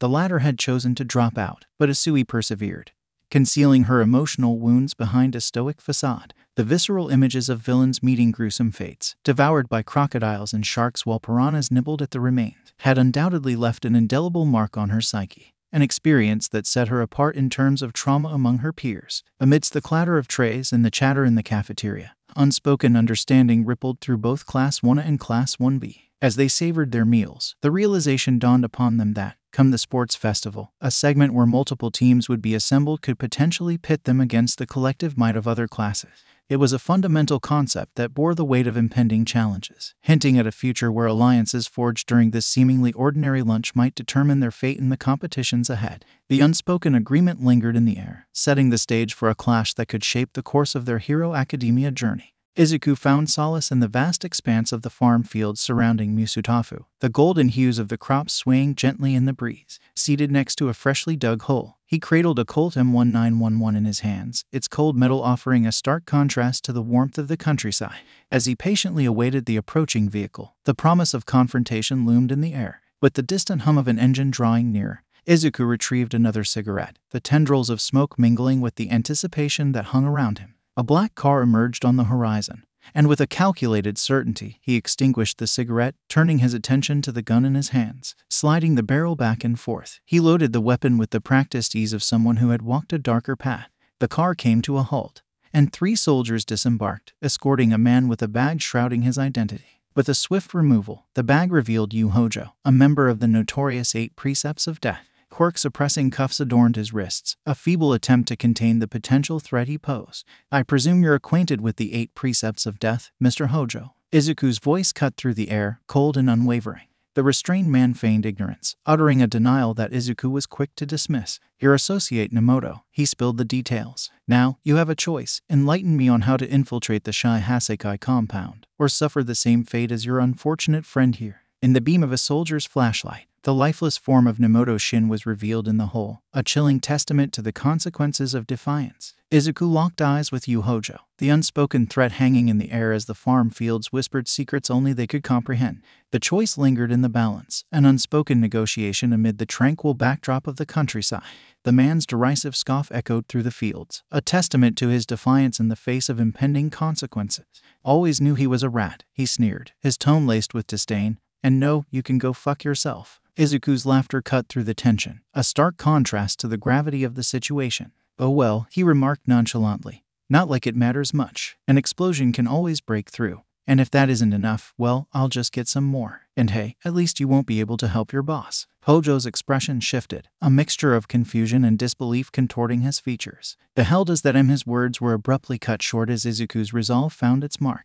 In a swift and decisive motion, the Colt M1911 discharged, the bullet finding its home in Hojo's forehead. The man's body slumped to the ground, the weight of his defiance silenced in an instant. Izuku's gaze shifted to one of the soldiers, a faceless figure with the designation B3-1778. Name, he inquired, prompting the soldier to respond with military precision.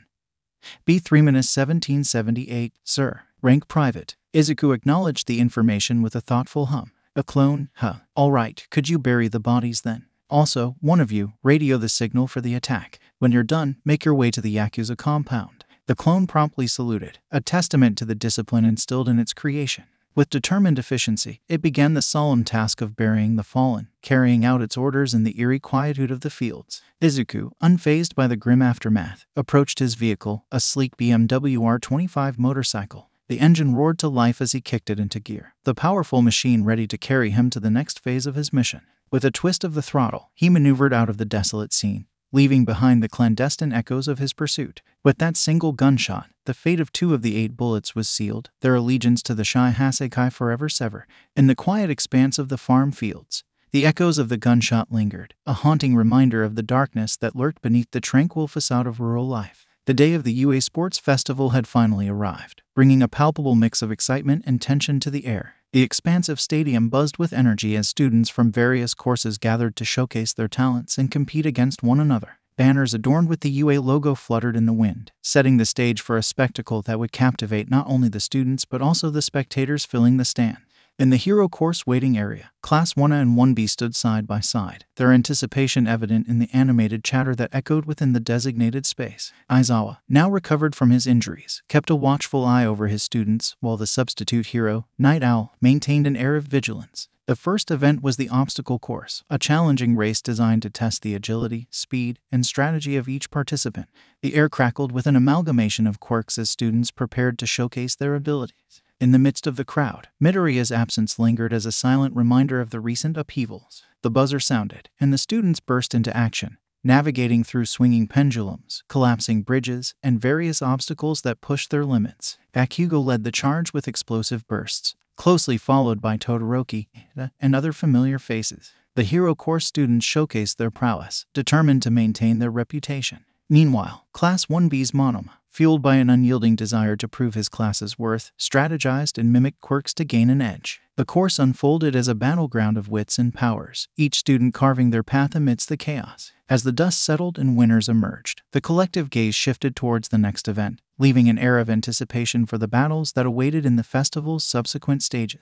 The sports festival had begun, and UAS aspiring heroes were ready to leave an indelible mark on its storied history. The next event in the sports festival was the Cavalry Battle, a team based competition that required strategic alliances and clever use of quirks. The students huddled with their teammates, formulating plans to secure points and advance to the next round. Class 1A, driven by a mix of camaraderie and determination, devised a strategy that involved Midoriya's quick and agile mobility. However, his absence left a void in their plan. As they adapted on the fly, they relied on the explosive power of Bakugo, the ice manipulation of Todoroki, and the speed of Ida to maintain their competitive edge. On the other side, Class 1B embraced Monoma's tactical approach, mimicking a variety of quirks to gain versatility. While some students questioned the absence of Midoriya, others were focused on proving their individual strengths and the prowess of their class. As the cavalry battle commenced, the arena became a flurry of action, with students jockeying for position and forming alliances on the fly. Quirks clashed, strategies unfolded,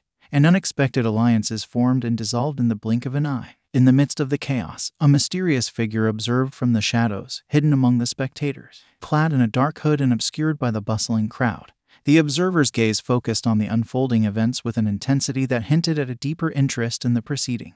The buzzer sounded, marking the end of the cavalry battle. Class 1 and 1B reflected on their performances, strategizing for the upcoming one on one battles. Little did they know that the sports festival held more surprises and challenges, setting the stage for unexpected encounters and tests of strength and resilience. The air was thick with anticipation as UAS aspiring heroes readied themselves for the next phase of the competition.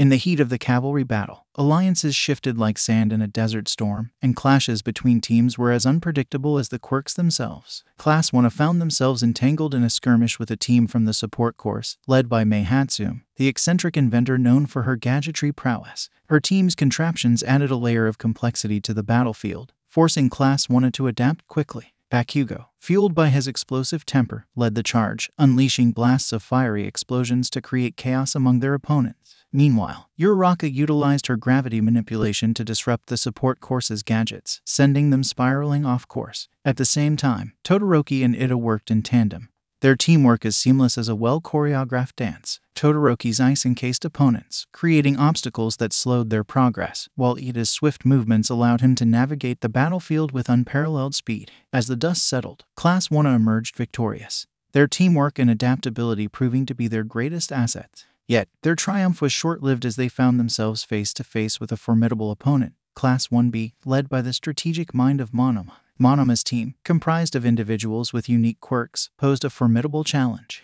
They moved with precision, exploiting weaknesses and capitalizing on opportunities with calculated efficiency. The clash between Class 1 and Class 1B was intense, each side pushing themselves to the limit in pursuit of victory. Mid battle alliances formed and dissolved as students sought to gain the upper hand in the chaotic melee. Amidst the chaos, Midoriya's absence loomed large, leaving Class 1 at a disadvantage. Yet, they refused to yield, drawing strength from their bonds and determination to prove themselves as worthy competitors. The cavalry battle raged on, a testament to the tenacity and spirit of UAS aspiring heroes. With each clash, they honed their skills and forged bonds that would carry them through the challenges yet to come in the sports festival. The cavalry battle continued to unfold with relentless energy and unpredictability. As Class 1A clashed with Class 1B, the arena became a battlefield of quirks, strategies, and alliances. Ida, with his incredible speed, zipped through the chaos, dodging attacks and attempting to snatch headbands from unsuspecting opponents. He raced against Class 1B's Juzo Honenuki,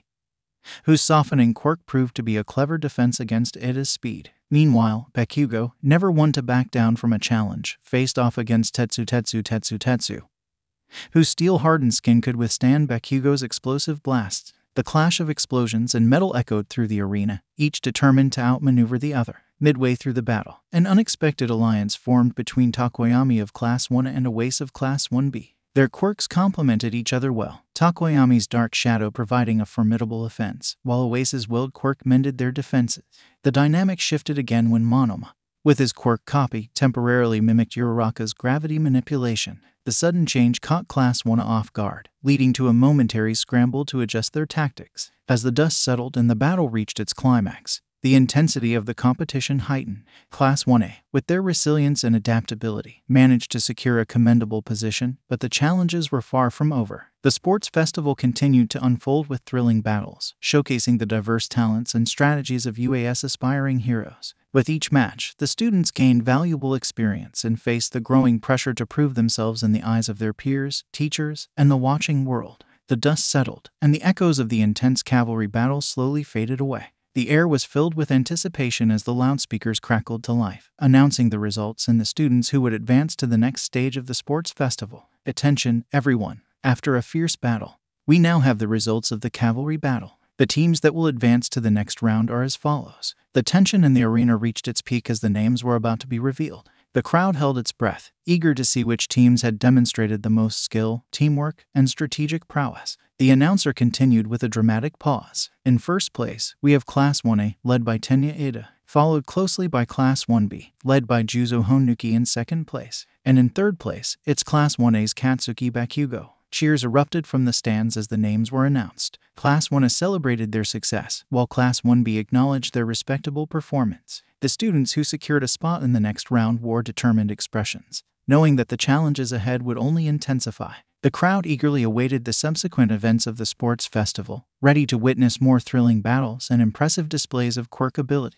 The competition was fierce, and the students were determined to prove themselves as the future heroes of UA. The stadium buzzed with energy as the final event of the sports festival was about to begin. The remaining contestants, fueled by the spirit of competition, gathered on the arena floor, ready to showcase their skills in the one on one battles. The loudspeakers echoed through the stadium, announcing the commencement of the one on one matchups. The tension rose as the first pair of competitors stepped forward, facing each other with unwavering determination. First up, from Class 1A, we have Shoto Todoroki. The crowd erupted in cheers as Todoroki, with his distinctive heterochromatic eyes and half and half hairstyle, entered the arena. His opponent, a student from another class, stood across from him, prepared for the impending clash. The battle unfolded with a display of incredible quirks, strategic maneuvers, and intense combat.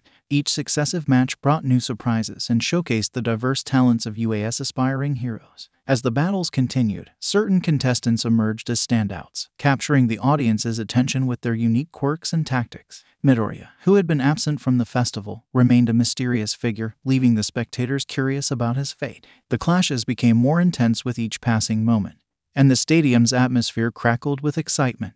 Heroic aspirations clashed, and rivalries intensified, creating an unforgettable spectacle that would be etched into the memories of both students and spectators alike. The final event of the UA Sports Festival proved to be a thrilling showcase of talent, determination, and the indomitable spirit of the aspiring heroes. As the day concluded, the stage was set for the next chapter in the journey of these young students, each striving to become the symbol of peace and justice they aspired to be. With a casual click, the television screen went dark in the League of Villains hideout. Shigaraki, tasked with monitoring the UA Sports Festival, had neglected his duty and now he found himself catching up on the highlights. Restlessly scratching his neck with his left hand, he absorbed the crucial information. Stain's location had become a priority. Although they knew he was in Hosu, the exact whereabouts remained elusive. In a few days, the League of Villains planned to launch an attack to capture the infamous hero killer, Kurogiri. Coffee, Shigaraki barked, and with unwavering loyalty, Kurogiri, the ever present bartender and portal master, promptly fulfilled the request. The tension in the hideout hinted at the impending clash between heroes and villains, each side preparing for the next phase of their ongoing struggle for dominance. As the trucks rumbled through the streets of Musutafu, a mysterious cargo hidden beneath wrappers and sheets, a sense of anticipation hung in the air. The convoy came to a halt near a seemingly ordinary compound, office buildings surrounded by a protective fence. Vans, joining the procession, disgorged the formidable 250 man strong company of Division Fisher. The unveiling began as the sheets covering five imposing M1917 tanks were removed, revealing the roaring behemoths beneath. The soldiers, some equipped with riot shields, formed a protective line in front of the tanks. Simultaneously, Company Y orchestrated a similar unveiling, showcasing their four Mark II tanks. Meanwhile, Company B split into two groups, prepared to serve as backup with 30 Kodiak bears each. Gas masks adorned every soldier's face, emphasizing the gravity of the situation. A soldier armed with a grenade launcher fired a shot, launching a canister of tear gas through a window, signaling the commencement of their operation. The streets of Musutafu were now caught in the crosshairs of a meticulously planned military maneuver. The deafening explosion echoed through the air as one of the tanks from Company A strategically blew up an entrance, creating a breach for the operation. The smaller sized tanks, designed for agility, led the charge as they smoothly entered the compound. Following closely behind, the well trained troops from Company A flooded in, ready to face whatever challenges lay ahead. The Shie Hassaikai compound, once a fortress of secrecy, was now exposed to the relentless advance of Division Fisher. In Eri's small room, the alarms had finally ceased, but an eerie tension lingered in the air. Trembling with fear, she hid under her bed, the unfamiliar noise unsettling her. Moments later, Overhaul entered, bringing a directive that disrupted the relative calmness of her hidden sanctuary. Eri, come out now. We're going on a small trip, Overhaul commanded. Fearful of the consequences of defiance, Eri reluctantly emerged from her hiding spot. She took the hand offered by the imposing figure, unaware of the chaos unfolding above ground. On the surface, the Shie Hassaikai compound had turned into a battleground. Kendo Rappa, once a formidable force, found himself overwhelmed by the sheer strength and ferocity of four Kodiak bears. Toya Setsuno, targeted by a sniper, suffered a fatal bullet wound to the head. Rikiya Katsukame fought valiantly against the joint force of Mark II tanks and Kodiak bears, but the odds were slowly turning against him. Soramitsu Tabe writhed on the ground, affected by the tear gas canister he had unwittingly encountered. Deidoro Sakaki met his demise when a shell from a Mark II tank found its target. Hekiji Tengai's once formidable barrier began to crack under the relentless assault of 3M1917 tanks. The battlefield, a gruesome tableau of fallen Yakuza and NCC soldiers, bore witness to the violent clash between Division Fisher and the Shie Hassaikai. In the dimly lit underground passages, Chronostasis confronted the infiltration team from Company B, led by none other than Izuku himself. The air was thick with tension as the clash between the Yakuza henchmen and the NCC soldiers unfolded. Heroes, Chronostasis declared, a smirk playing on his face. You'll get no further. The irony of the title wasn't lost on Izuku, who found it amusing given the circumstances. Determined to deal with the underlings first, Chronostasis unleashed his hair, resembling arrows, aimed at the soldiers. Two members holding riot shields managed to keep the hair at bay, but they noticed their movements slowing down as a result. Izuku suppressed a chuckle, realizing the peculiar nature of the situation. Everyone, don't let the hair hit you. In fire, Izuku commanded. The soldiers, those still capable of moving efficiently, began to shoot at Chronostasis. The Yakuza member dodged the gunfire skillfully, narrowly avoiding getting hit. In retaliation, Chronostasis released his hair once more, managing to strike another soldier, Clone B Formanus 567, in the side of the neck. Man down, one of the soldiers called out, as Chronostasis continued to weave through the onslaught. His hair striking with precision, Izuku observed the situation. A strategic insight struck him. Keep him moving. He won't be able to use his quirk that way. Izuku ordered. The soldiers, quick to adapt, continued their relentless assault. If one needed to reload, another seamlessly took over the gunfire. Chronostasis, now constantly in motion, found it challenging to unleash his hair effectively. However, Chronostasis wasn't solely reliant on his quirk. With swift and calculated moves, he took down two more soldiers. But Izuku had an ace up his sleeve, a quirk of his own. Ten marbles slipped between his fingers, and with a throw, ten brown hyenas materialized, ready to join the underground fray. The trio of Eri, Overhaul, and Mimic navigated the labyrinthine hallways, slowly making their way toward the surface. As they emerged into the open air on the other side of the compound, they remained oblivious to the unseen threat looming in the shadows. High above, a sniper patiently observed their movements, evaluating the situation. A radio transmission crackled to life, providing a directive the man, make sure to just kill him. His quirk is too dangerous, and for the girl, leave her alone for now. All right, the sniper responded, aligning the crosshairs on Overhaul. With a measured breath, they took the shot. The bullet soared through the air, a deadly trajectory aimed at the Yakuza leader. The outcome of this single moment would have profound consequences for the unfolding conflict within the Shie Hassaikai compound. The first bullet tore through the air, finding its mark on Overhaul's shoulder. The Yakuza leader grimaced in pain, dropping to a knee as he instinctively clutched at the wound. Before he could peel off his glove to trigger his quirk and mend the injury, a second shot rang out. This time, the bullet struck with deadly precision, penetrating Overhaul's forehead. The force of impact sent him sprawling backward, lifeless. The sniper, hidden in the shadows, had successfully neutralized the formidable figurehead of the Shie Hassaikai. The consequences of this decisive act rippled through the compound, setting the stage for what would unfold in the wake of Overhaul's demise. Amidst the chaos, Mimic's desperate plea for Eri to reverse Overhaul's fate went unanswered. The sniper, Rioner Abel, remained hidden, claiming his second victim with a calculated shot that silenced Mimic forever. Meanwhile, Chronostasis, overwhelmed by the relentless assault from the soldiers and their animal allies, suffered a gruesome demise. A brown hyena tore into his arm, another blow came in the form of a shotgun shell to his stomach, and the final stroke was delivered by Izuku, who swiftly dispatched him with a fatal gunshot to the head. The once formidable enforcer of the Shie Hassaikai fell to the combined might of the invaders, leaving the underground compound in turmoil. Gaimai, unfazed by the carnage that lay before him, strode into the battlefield with an air of calculated composure. Surveying the wreckage of the once mighty tanks, he nonchalantly flicked his finger, and with a mere gesture, the discarded machines vanished into the ether, leaving no trace of their former presence. However, the corpses of the fallen soldiers remained as stark reminders of the brutal conflict that had unfolded. Out of the 750 men who had embarked on the raid, only 233 emerged from the chaos unscathed. The toll exacted by the Yakuza was significant, a testament to their formidable resilience and tenacity. Despite the staggering losses, victory had been achieved, albeit at a steep price. None of the Yakuza members had survived the onslaught. Those who managed to cling to life were swiftly met with justice in the form of execution. The decisive battle had brought an end to the reign of the Shie Hassaikai, marking a pivotal moment in the struggle for control over Musutafu's underworld.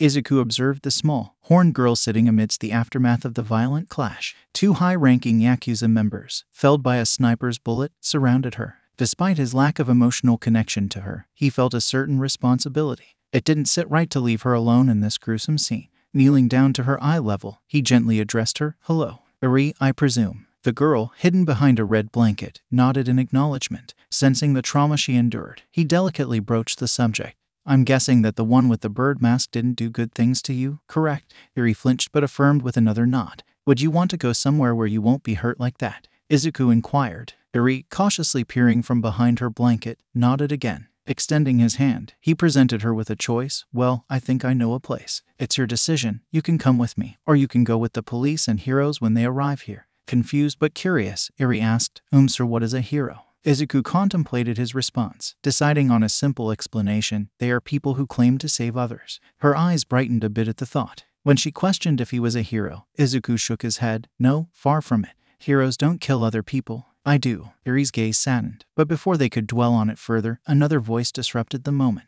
Well, then, I suggest you two make a decision. Stage 2 of the plan will begin soon, Gaimai's voice echoed, signaling that the situation required immediate attention and action. Eri nodded, acknowledging Gaimai's plan to take her to Aikta Labs for safety. Gaimai assured Izuku, Well, then, I'll get her to Aikta Labs. She'll be safe there. Now, we'll see each other in a few weeks in Tartarus. Now go, the police should be here any second. Izuku nodded, offering reassurance to Eri. Well, Eri, that man in black, you can trust him. He won't do any harm. Eri, while cautious, slowly approached Gaimai. He opened a portal to Fort Gate, also known as Aikta Labs, and as they both went through, the portal closed behind them. With the distant wail of approaching police sirens, Izuku took a moment. He sat on his knees, hands on his head, contemplating the events that transpired. The second stage of his plan loomed ahead, involving the recruitment of certain individuals. Some would be receptive, others resistant, but they all shared one common destination Tartarus. Izuku focused on his task, meticulously planning his recruitment strategy for Tartarus inmates. In the dimly lit cabin on Mount Kita,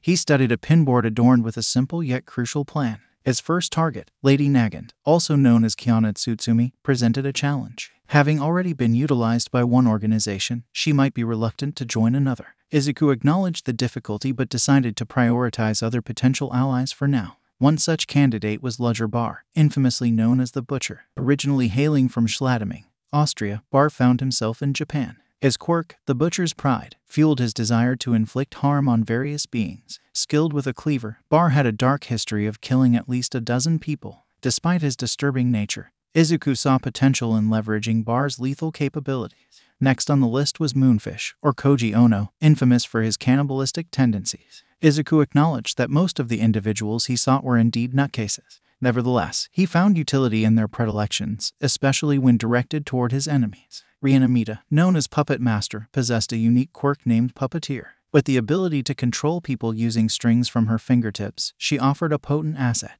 While she, too, had a history as a serial killer, Izuku remained pragmatic, recognizing the potential these individuals had when given a specific target. As he delved into the details of each potential recruit, Izuku understood the risks involved in his plan.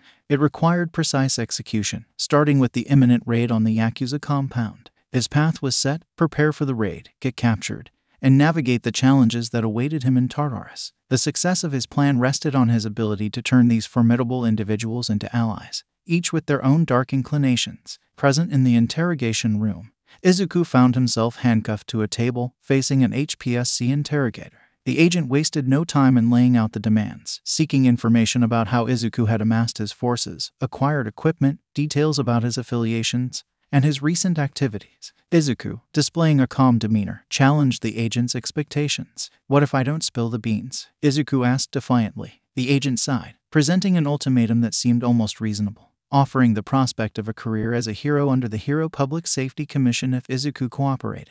However, if he chose silence, Tartarus awaited him for a lifetime. Unfazed, Izuku hummed dismissively. Welp, guess I ain't saying shit. The agent, taken aback by Izuku's lack of compliance, attempted to reason with him, acknowledging that they were willing to overlook some of his actions.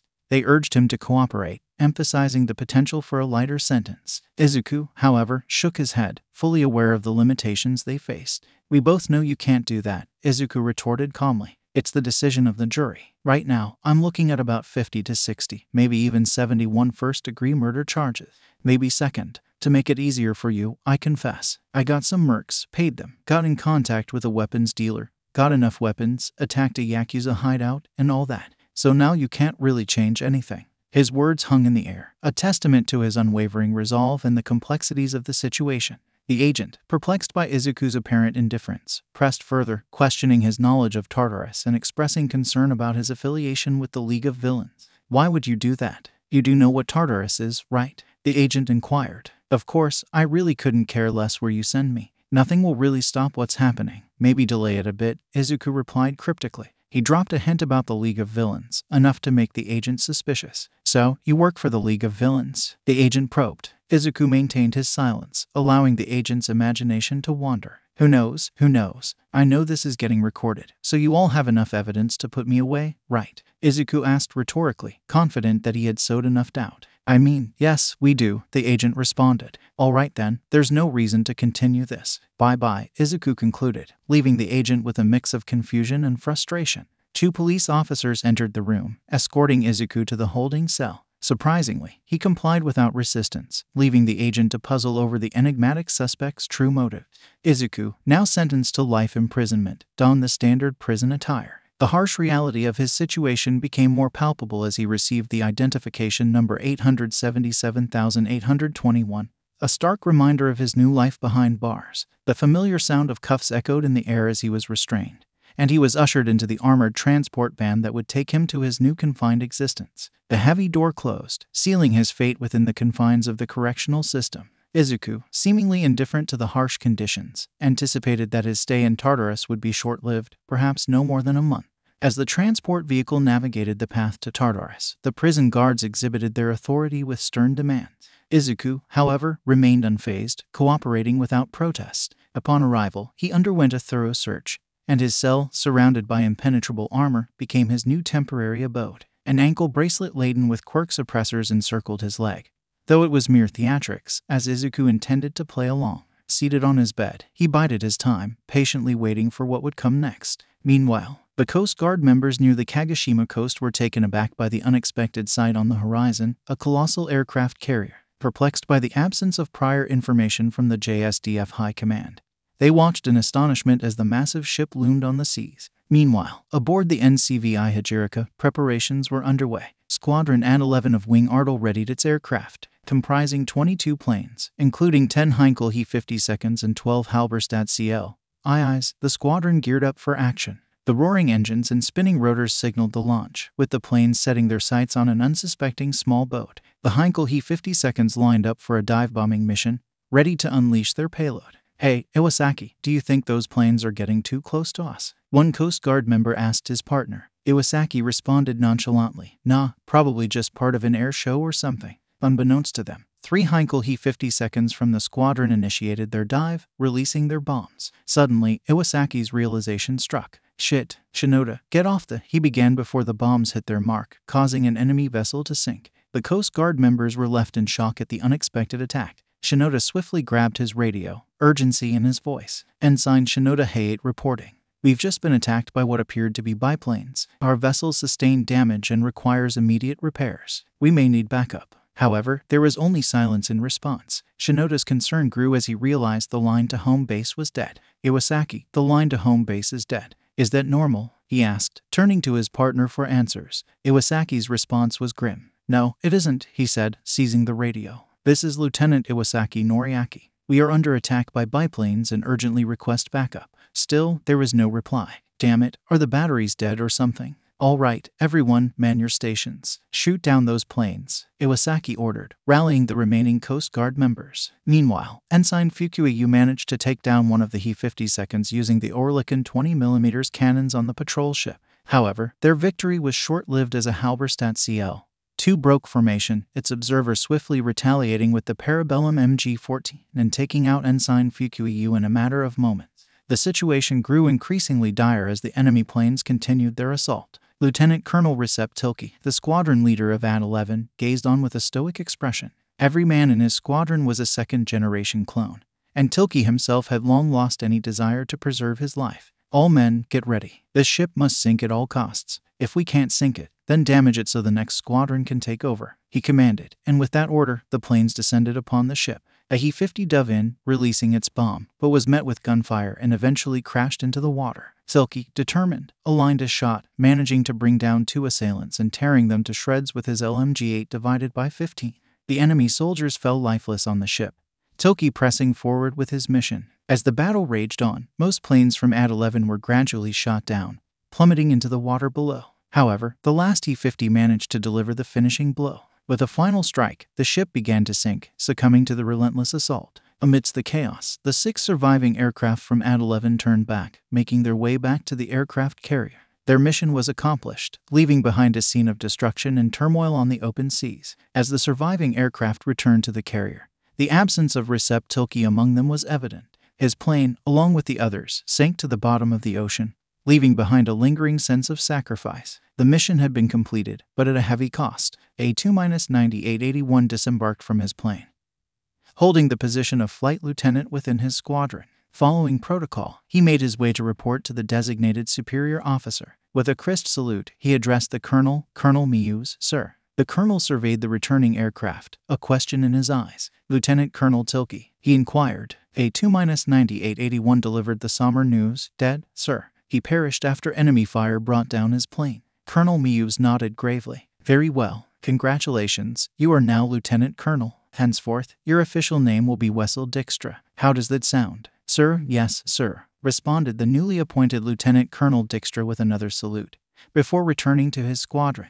Back in the prison cafeteria, Izuku sat alone at a table, observing the dynamics of the room. Cliques formed naturally, with some inmates keeping to themselves while others gathered in groups. His gaze swept across the space, recognizing faces and potential recruits among them. Kiana Tsutsumi sat solitary, and he decided against approaching her for now, respecting her space. Instead, his attention settled on Ludger Bar, who occupied a table mostly to himself with only a few others in his company. Nearby sat Moonfish, Mita, and Akabe, individuals Izuku considered as potential allies in his future plans. Choosing the end of their table, Izuku settled in, adept at blending into the background thanks to his experiences in Aldera. Amidst the mundane routine of prison life, he partook of the unappealing prison fare, biding his time for what lay ahead. Mita was the first to notice Izuku's presence, giving him a casual glance. On the other hand, Bar, with a gruff demeanor, questioned, And who are you? New around here? Well, I don't blame you for taking a seat at an empty spot. But next time, find somewhere else, all right.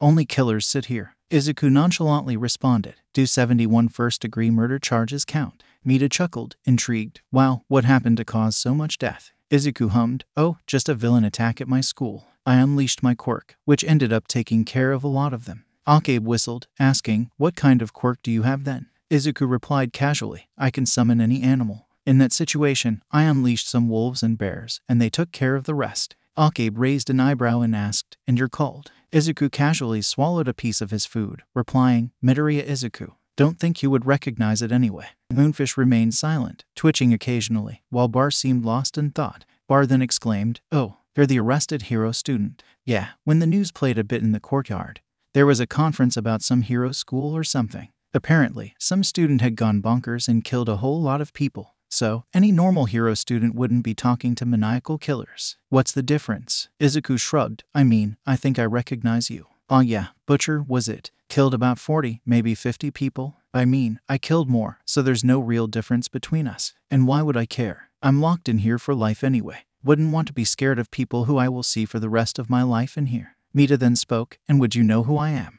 Izuku calmly grabbed his water cup, taking a sip before responding, Puppeteer Master. You killed 78 to 83 people, stringing their bodies up with strings as if they were puppets. You got captured by Yoroi Musha and then sentenced to life here, right? She nodded and giggled a bit. Kid knows his stuff. What about my buddy, Koji, over here? She asked as she placed a shoulder over Moonfish, who once again didn't say anything, only giving a small growl. Moonfish cannibalized a family of five. Only the daughter of the family survived, bearing bite marks on her neck. I don't remember who took him in, though. Ed shot was the only thing Moonfish said before returning to his subdued state. Mita sighed. He's still salty about how he didn't manage to eat the poor girl. Oh well, not like he'll be able to eat anyone again soon. He's going to the chair in a few months. Aren't you excited, Koji? She giggled, almost like a girl in a candy store. As the meal continued, Izuku observed the interactions around him. The prison cafeteria buzzed with subdued conversations, and the atmosphere remained tense. It looked like Izuku had identified three potential recruits for his plan. Izuku moved silently through the prison courtyard, his presence unnoticed by most. He had cultivated an unusual camaraderie with a group of notorious inmates Bar, Mita, Akabe, and Moonfish. Although the connection was more strategic than genuine, it served his purposes well in this unforgiving environment. Leaning against a cold metal wall, Izuku heard a voice he recognized but hadn't expected to encounter so directly. I know you're watching me. If you have something to say, say it, Kiana Tsutsumi remarked, her voice tinged with a mix of curiosity and defiance. Izuku's response was measured. Not here to offer compliments, just observing. Someone close to me had a lot to say about you. It's intriguing to finally meet the real person behind the stories. Kiana raised an eyebrow, skeptical of Izuku's interest. Most people wouldn't bother with a fallen hero in prison. What's your angle? Izuku explained. It's not about heroism or villainy. More about how you managed to outmaneuver someone he considered competition. Kiana's expression shifted as she processed Izuku's words. And who would that be? I've crossed paths with many adversaries. Izuku's response was blunt. Nishiyama Washi, the 41st president of the HPSC. Kiana's features tightened, a mixture of surprise and irritation. The commission keeps its secrets well hidden. How would you know about that? Izuku's tone remained neutral. Family ties. My uncle, who I mentioned earlier, harbors a deep resentment towards the HPSC. It's resulted in some significant repercussions for the commission. Kiana's lips quirked into a wry smile. So, you're kin to a terrorist. That certainly piqued my interest. Izuku chuckled. Terrorist is quite the heavy label, don't you think? I prefer to see him as a well informed member of society. Kiana snorted in response. Sure, kid. So, how did you end up in this lovely establishment? Izuku nonchalantly shrugged. Got a task from my uncle, and I'm just carrying it out. Kiana's eyes narrowed. Very enlightening. Ignoring the sarcasm, Izuku continued, I try my best. Anyway, ever heard of the NCC? Kiana looked genuinely puzzled. Can't say I have. Izuku smirked. Well then, it seems you're in for quite a story. Kiana couldn't deny her intrigue with the kid. He had been observing her from the moment he arrived, and their initial conversation left her with mixed feelings. There was something distinctly different about him compared to the typical teenagers she had encountered in prison. Firstly, he didn't exhibit the usual behaviors she experienced from others no lecherous glances or inappropriate comments. Instead, his gaze remained fixed on her eyes. Second, while most young people idolized heroes, he expressed admiration for a military organization with destructive plans for Japan, coupled with a disdain for the Hero Public Safety Commission. Thirdly, his composure was uncanny. In a facility housing individuals who had wiped out entire cities, he displayed an unusual calmness while engaging in conversations with them. And lastly, the kid had an eccentric uncle teaching him about weaponry, poison, and an array of other subjects. All in all, Kiana found herself both puzzled and intrigued by the enigmatic teenager. Kiana found herself seated at the same table as the peculiar kid, surrounded by an assortment of other criminals, each with their own dark tendencies. Mita, the white blonde woman, was currently engrossed in a conversation about inflicting mass harm. Bar, a brown haired man with red eyes, chimed in with his thoughts on torture, while Moonfish, or Ono, simply muttered about eating flesh. Akabe offered a more direct approach, lighting up a public gathering. The conversation then turned to the kid, Midoriya, and his perspective. He responded with a calm, contemplative hum, suggesting cutting off the electricity grid in a densely populated area as a means of causing widespread chaos. He continued with various suggestions, including derailing a bullet train and deploying sarin gas grenades, all delivered in a seemingly absent minded mutter. Kiana observed how Mita enjoyed these peculiar musings, seemingly the only one understanding the intricate details of his thoughts. The kid's mind worked in a way that both fascinated and disturbed her. Ben, I think I remember a briefing about something like that. Was it Black Eye Network or something? Izuku shook his head. Black Eagle Network. I think my uncle knows three members of that thing Profiler, Smiles, and Contractor. Wouldn't know where they are, though. Kiana hummed, HM. So, kiddo, you're very familiar with the criminal world. Why would that be? Izuku chuckled. Wanted to be an underground hero.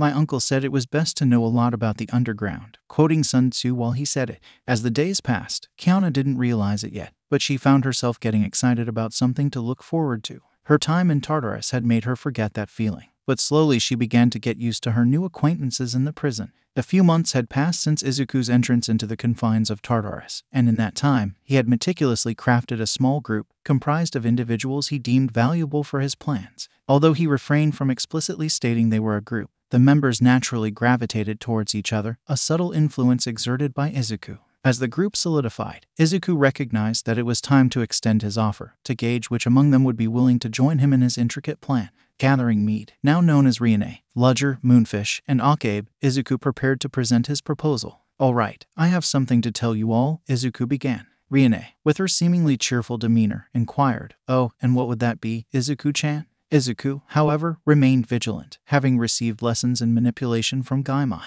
He responded with a polite smile. I have an offer for each of you. Are you interested? Ludger, ever direct, prompted Izuku to reveal the details. Well, tell us what it is first. Sensing the opportune moment, Izuku looked around and smirked as the cameras mysteriously went offline, a calculated move signaling the imminent unveiling of his proposal. Well, you see, I have this little plan that would truly disrupt the prison. With its success, I could easily make my exit. However, I also have job opportunities for a select few. You see, I'm a part of an organization with a lofty goal that involves eliminating a significant number of people. I'm here to recruit individuals who might be intrigued by such a proposition. Riene, always quick to embrace the unexpected, declared, Count me in. Ludger, displaying his nonchalant attitude, remarked, Not like I have something else to do. Moonfish, with a low growl, conveyed his agreement. Riene interpreted, he said sure in his own way. Most members had willingly agreed to Izuku's proposal, except for Kiana, who displayed uncertainty. Miss Tsutsumi, Izuku addressed her, acknowledging her past experiences. While I know of your history, you're not obligated to join.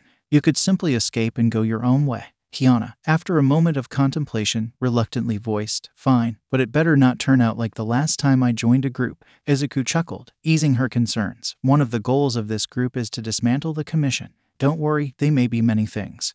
But hypocrites isn't one of them. As the individuals within this unlikely alliance align themselves with Izuku's plan, the intricate web of relationships, motivations, and secrets continued to unfold within the confines of Tartarus. The offer had been extended, and the consequences of their choices would undoubtedly shape the trajectory of the unfolding narrative. Several more months had passed within the confinements of Tartarus, and the prison population had seen some additions.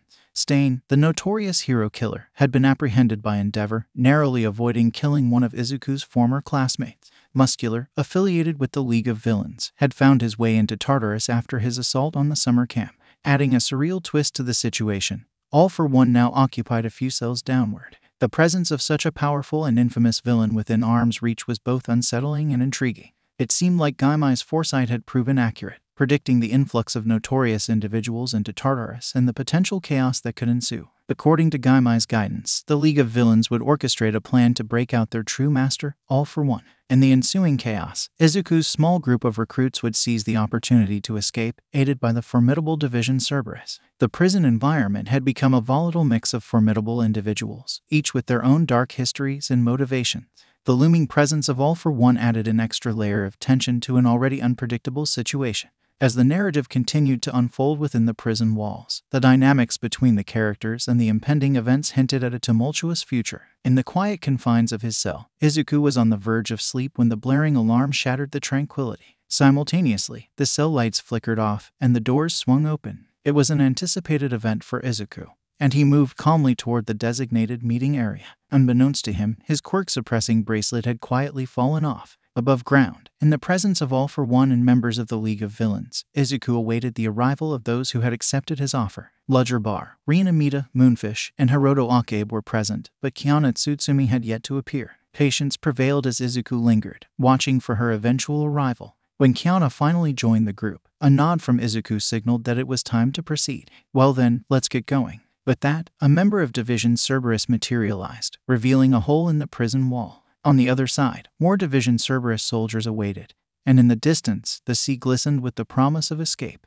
A small boat patiently bobbed in the water, ready to ferry them away. The assembled group, now the new members of Army Skull, embarked onto the waiting boat. As it sailed away, leaving Tartarus behind, the prisoners within the once impregnable walls roamed free. With a sense of purpose, they marched towards the city, marking the beginning of a new chapter in their unpredictable journey. In his military uniform, the black body armor and metallic lower skull mask completing the ensemble, Izuku stood in anticipation, surrounded by the motley crew that had successfully broken out of Tartarus. Each member sat in standard issue uniforms, a mix of conversations and activities filling the room. Rihanna animatedly chatted away to a disinterested moonfish. Kiana sat in contemplative silence, and Ludger sharpened his new cleaver with focused intent. Moonfish retained his jacket vest, a choice not questioned by Izuku, who understood that certain preferences remained unchanged. The room's atmosphere shifted as the awaited figure, the man Izuku had been waiting for, opened the door to the safe warehouse. Gaimai, in his customary uniform, greeted them with a resonant voice.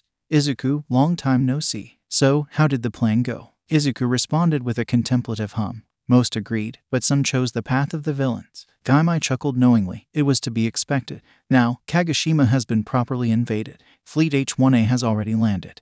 And the airports and harbors have been repurposed for military use. Half of the Miyazaki prefecture has fallen. We're still utilizing World War I and II era weapons.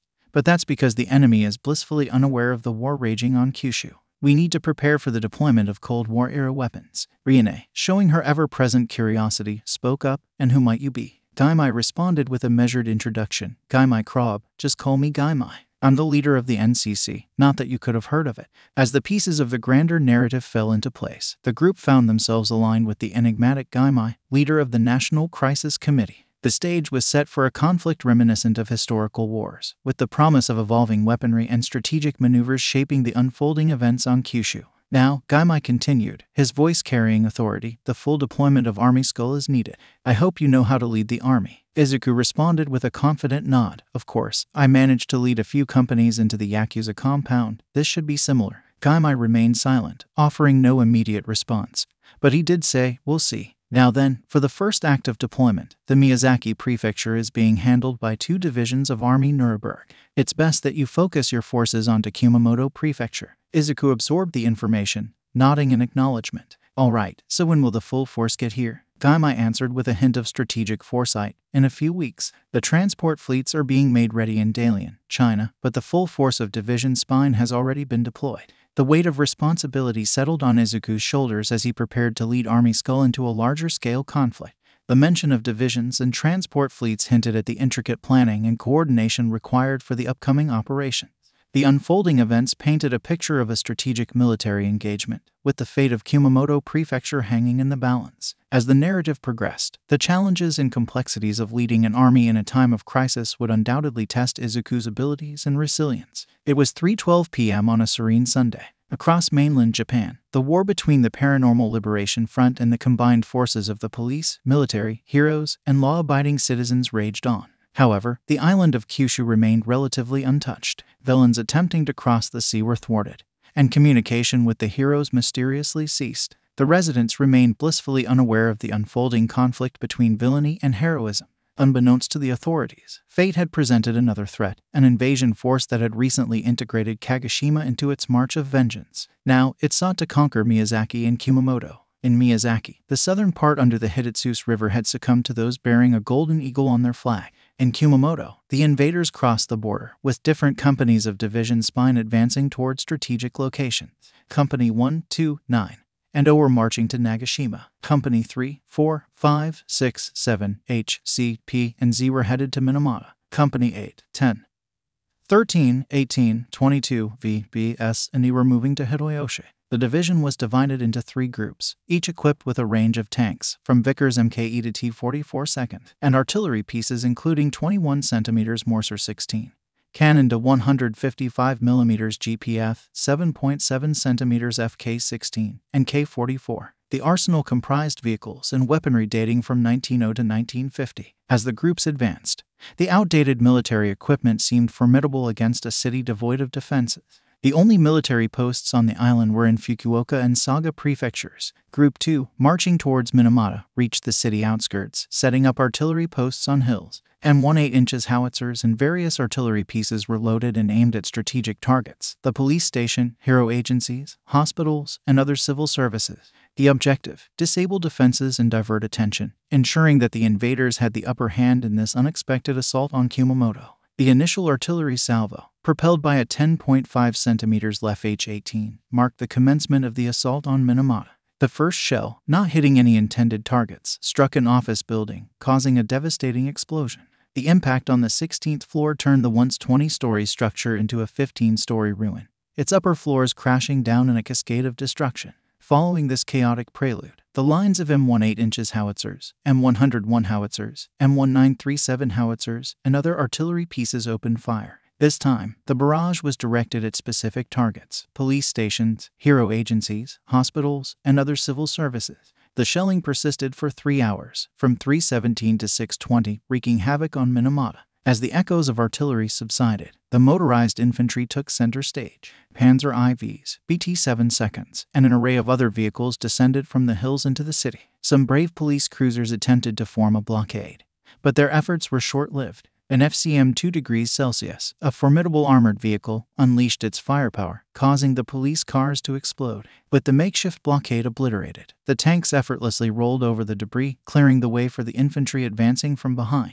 The invasion of Minamata was underway, leaving destruction and chaos in its wake. The radio transmissions painted a grim picture of Minamata's descent into chaos. Officer Kimura Tetsuya's urgent call for backup near Tojajsen was abruptly cut off by an explosion, leaving the fate of those officers hanging in uncertainty. The Hero Infernal's distress call from the Yudo fishing port was met with the disheartening sounds of machine gun fire, followed by ominous silence. A civilian's desperate plea for help, reporting individuals with skull masks, ended abruptly with the sound of an unknown disturbance. Taniguchi Makoto, an 110 phone operator for the police, found himself overwhelmed by the relentless stream of distress calls. Every report indicated escalating violence and casualties, with heroes and police already stretched thin across the city. He attempted to contact assistance from Tsunagi, but the lines were dead, cutting off any hope for external support. In the midst of this chaos, Makoto's own reality took a tragic turn. The door to his refuge was violently kicked open, and before he could comprehend the situation, bullets from an STG 44 tore through him. The operator's life was abruptly extinguished, leaving the communication hub in eerie silence, mirroring the unfolding catastrophe in Minamata.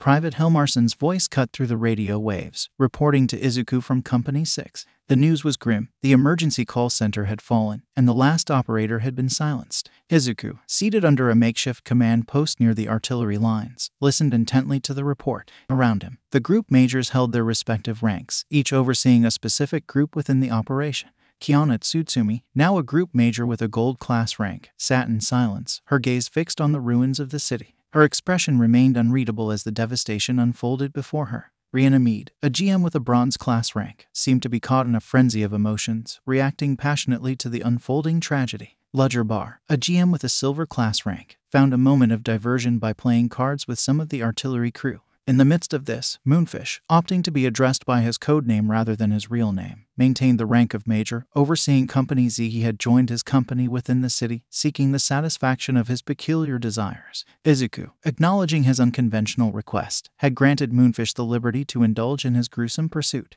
The city's chaos reflected in the dynamics among the officers, each dealing with the grim reality in their own way as they navigated the complexities of the unfolding invasion. Following the swift fall of Minamata, Group 2 wasted no time in advancing towards the next target, Tsunagi, a city merely 5.3 kilometers away. As they approached, the decision was made to subject Tsunagi to prolonged shelling, a strategic move to maximize the impact of their formidable ammunition reserves. The relentless bombardment was set to endure for three consecutive days. The initial target of the shelling was Shuram Hospital, situated on the outskirts of the city. The strategic positioning allowed for a relatively uncomplicated takeover. From this vantage point, the invaders set their sights on the town hall and its surroundings, initiating the assault with a calculated and relentless barrage of shells. The city of Tsunagi became the next battleground, engulfed in chaos as the invaders executed their systematic plan of invasion and conquest. Company 3, 4, 5, 6, and 7 had successfully reached Minamata Marina, a strategic port located in close proximity to Tsunagi.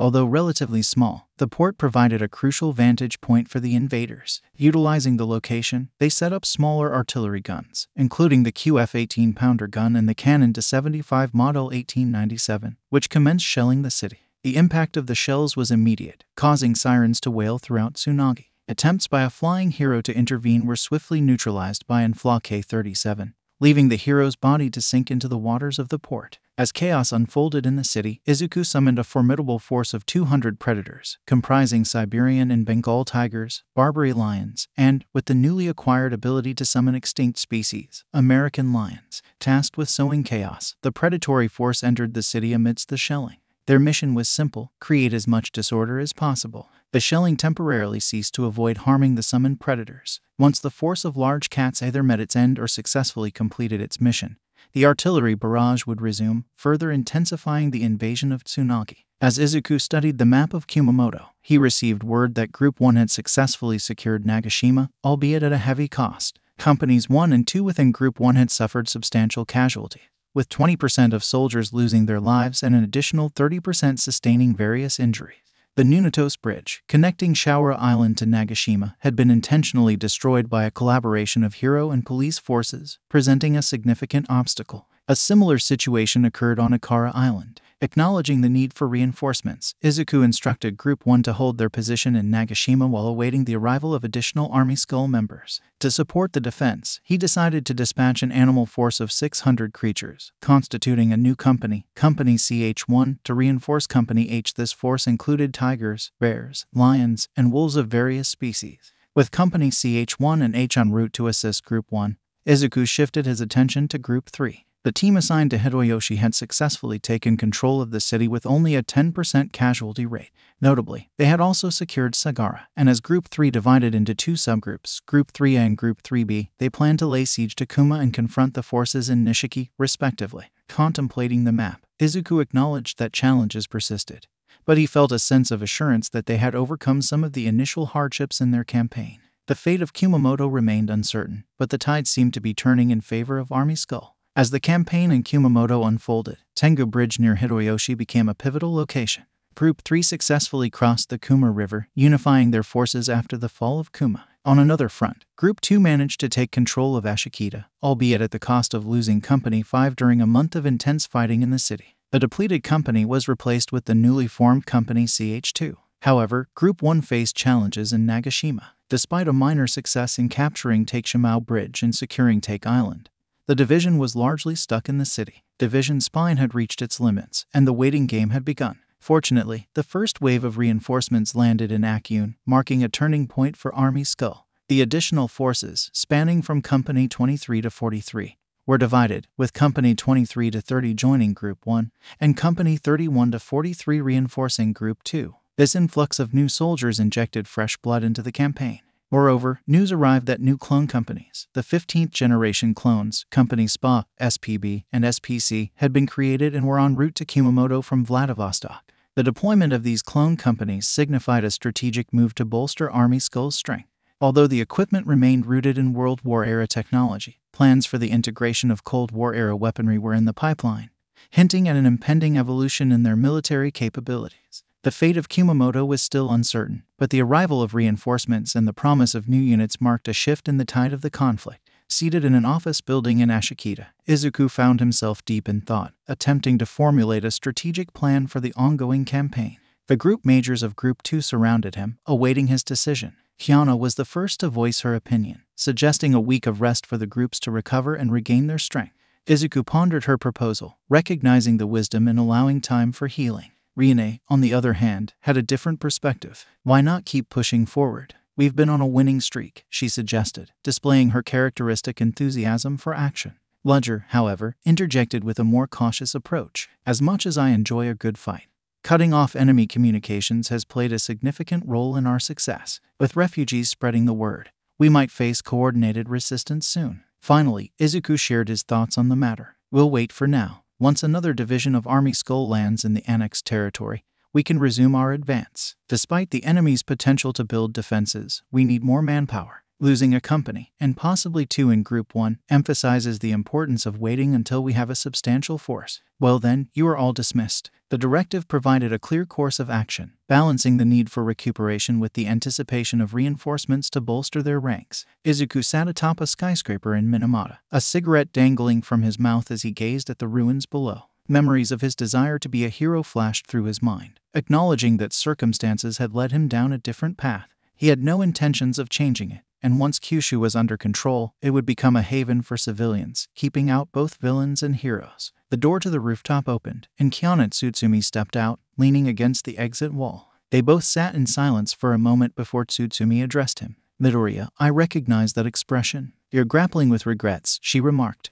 Izuku responded with a thoughtful hum. In a way, I guess, but dwelling on regrets only keeps you stuck. I'm sure you have your own share, so why not share them? Kiana frowned slightly, contemplating her words. I feel like I'm going in circles, joining one corrupt organization after another, she admitted. Izuku nodded slightly before turning to face her directly. Well then, you're free to leave. Neither I nor Gaimai will force you to stay here. We only want people who genuinely want to be part of this. She sighed, expressing the difficulty of her situation. It's not that simple. For every bad thing the NCC has done, there's another act of good that balances it. Every time I think I've found a reason to leave, I find one to stay. I'm just not sure. Izuku crushed the cigarette under his boot and looked at her intently. Well, I suggest you find clarity in your mind. Soon, you might fall into a rabbit hole, and getting out won't be easy. I'll be seeing you at the main encampment. The conversation had laid out the crossroads before her, emphasizing the importance of finding her own path amidst the complex situation. Kiana watched as Midoriya's figure disappeared down the stairs. The conversation had taken an unexpected turn.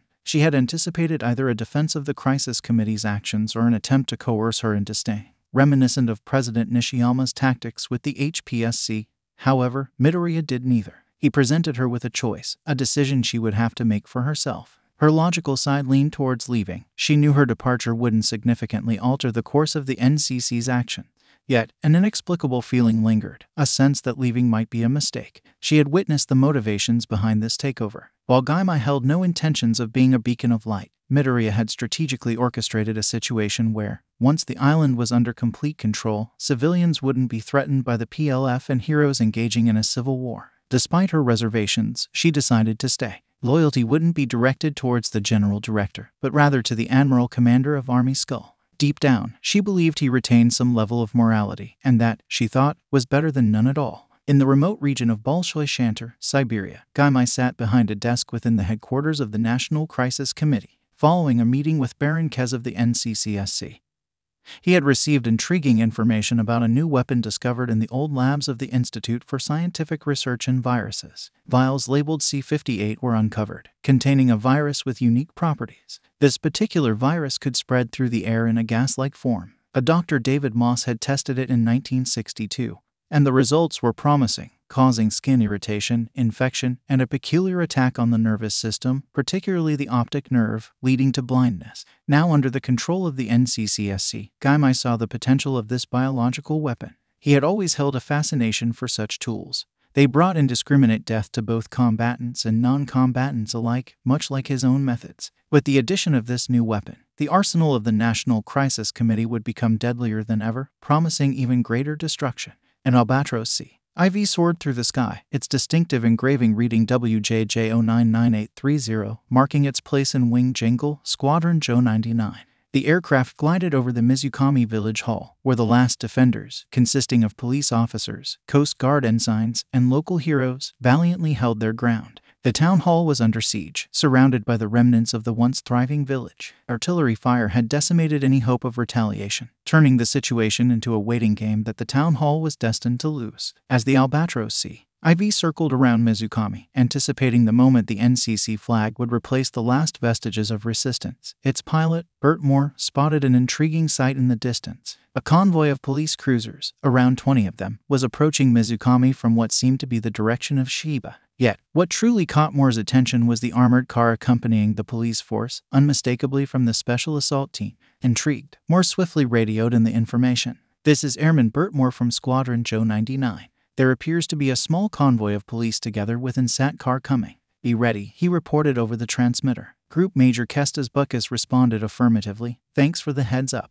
From where are they coming? From 142, it appears, Bert replied. All right then, guess we'll have to deal with that. You should go to your superior then, advised Group Major Butkus. With that, Moore's Albatros C. IV executed a turn, heading back to the airstrip built at Issa. Kestas Butkus, recently promoted to Group Major Gold Class of Group 3, had set up his command post in a house in Mizukami. He patiently awaited the outcome of the siege, ready to either witness the last defenders surrender or the walls breaking down under their relentless assault. However, news of Japanese reinforcements en route prompted him to take decisive action. Recognizing that he lacked the time to confront the incoming forces with his ground troops, Butkus quickly reached for his transmitter. He called upon a bomber squadron stationed in Hitoyoshi, under the command of Wing Commander Jackie Savage. The squadron, now part of Wing Genaris with 20 squadrons at their disposal, included two bomber squadrons among them. Wing Commander Savadier responded promptly, assuring Butkus, We'll get there as soon as we can, but do try and block them in somehow. Determined to impede the Japanese reinforcements, Butkus ordered an artillery strike on the road leading from 142. The cannons roared, and just as the police convoy passed Mizukami Produce Market, the leading police cruiser took a direct hit, erupting into a fiery explosion. The resulting wreckage effectively blocked the road, hindering the convoy's progress. Meanwhile, shells rained down around them, making any attempts to escape even more challenging. Back in Hitoyoshi, a squadron of 24 planes prepared for action. 14 bombers, short Stirling modules, and 10 Brewster F 2A Buffalo modules were ready for takeoff. Squadron GA 12, led by Wing Commander Savadier, ascended into the skies, heading swiftly towards Mizukami to engage the approaching Japanese reinforcements. The policemen found themselves in a state of disarray, their plans unraveling unexpectedly. Originally intending to retreat to Kumamoto, regroup, and prepare for a counteroffensive, their journey on Road 142 was abruptly halted by the relentless artillery fire. As they scrambled to adapt to this unforeseen situation, Officer Iwamoto Juru caught sight of a foreboding silhouette in the sky. Dread gripped Juru's gut as he realized the impending danger. He attempted to warn his fellow officers, but before the message could spread, the ominous shapes above released their payload. The bombs descended, and in a deafening explosion, the once promising police convoy was transformed into discarded and twisted metal strewn across the road of Mizukami. The NCC forces, with their strategic artillery strikes and air support, had effectively neutralized the approaching reinforcements. In the quiet town of Dolinsk, Guy Microb sat in his office, methodically organizing paperwork. The room, filled with the muted sounds of shuffling documents, held an air of calculated calmness. The man at the desk, seemingly unperturbed by the chaos beyond Dolinsk, was orchestrating moves of his own. Guy Microb, adopting the guise of Yasuke, had successfully navigated the bureaucratic intricacies of the Japanese government. His company, now under the name of his own alter ego, had managed to slip through the cracks of official scrutiny. The government, preoccupied with the PLF and other pressing matters, had little bandwidth to delve into the intricacies of corporate dealings. As Gaimai continued his administrative tasks, a soft sound disrupted the otherwise serene atmosphere. Eri, the young girl with temporal manipulation abilities, lay peacefully asleep in his lap. Her presence in Dolinsk was a result of the strategic relocation of Division Cerberus away from the front line. Gaimai couldn't help but marvel at the twist of fate that had transformed Eri's perception of him and Midoriya as her saviors. When he initially placed her under the care of Icade Labs, fear had gripped her. However, with the emergence of the Paranormal Liberation Front, Gaimai had decided to move Division Cerberus to Dolinsk, a relatively peaceful town far from the immediate threats. Eri, with her newfound trust in him, insisted on seeing Gaimai every day. The peculiar bond that had formed between Guy Microb and Eri amused him, despite the complexities of their roles and the uncertainties of the ongoing conflict.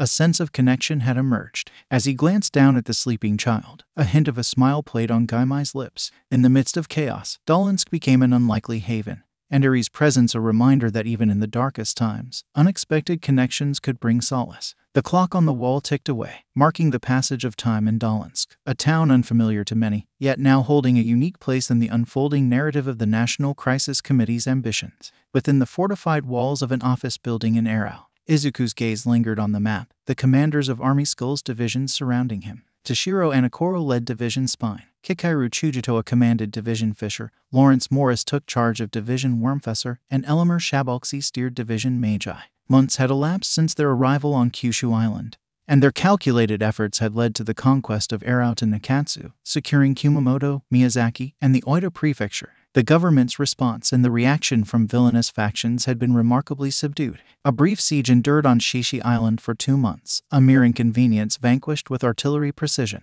Now, Izuku's contemplative gaze shifted to the next target on the map, Fukuoka Prefecture. A strategic imperative, but awaiting the impending arrival of Division Vertebral and Ulna was paramount. Patience became the order of the day, an acknowledgement of the synergy needed for the forthcoming campaign. In the hushed atmosphere of the command center, Izuku accepted the directive to wait. The dynamics of war unfolded on the map before him, and as the pieces fell into place, Fukuoka would soon become the next pivotal chapter in the unfolding saga on Kyushu Island.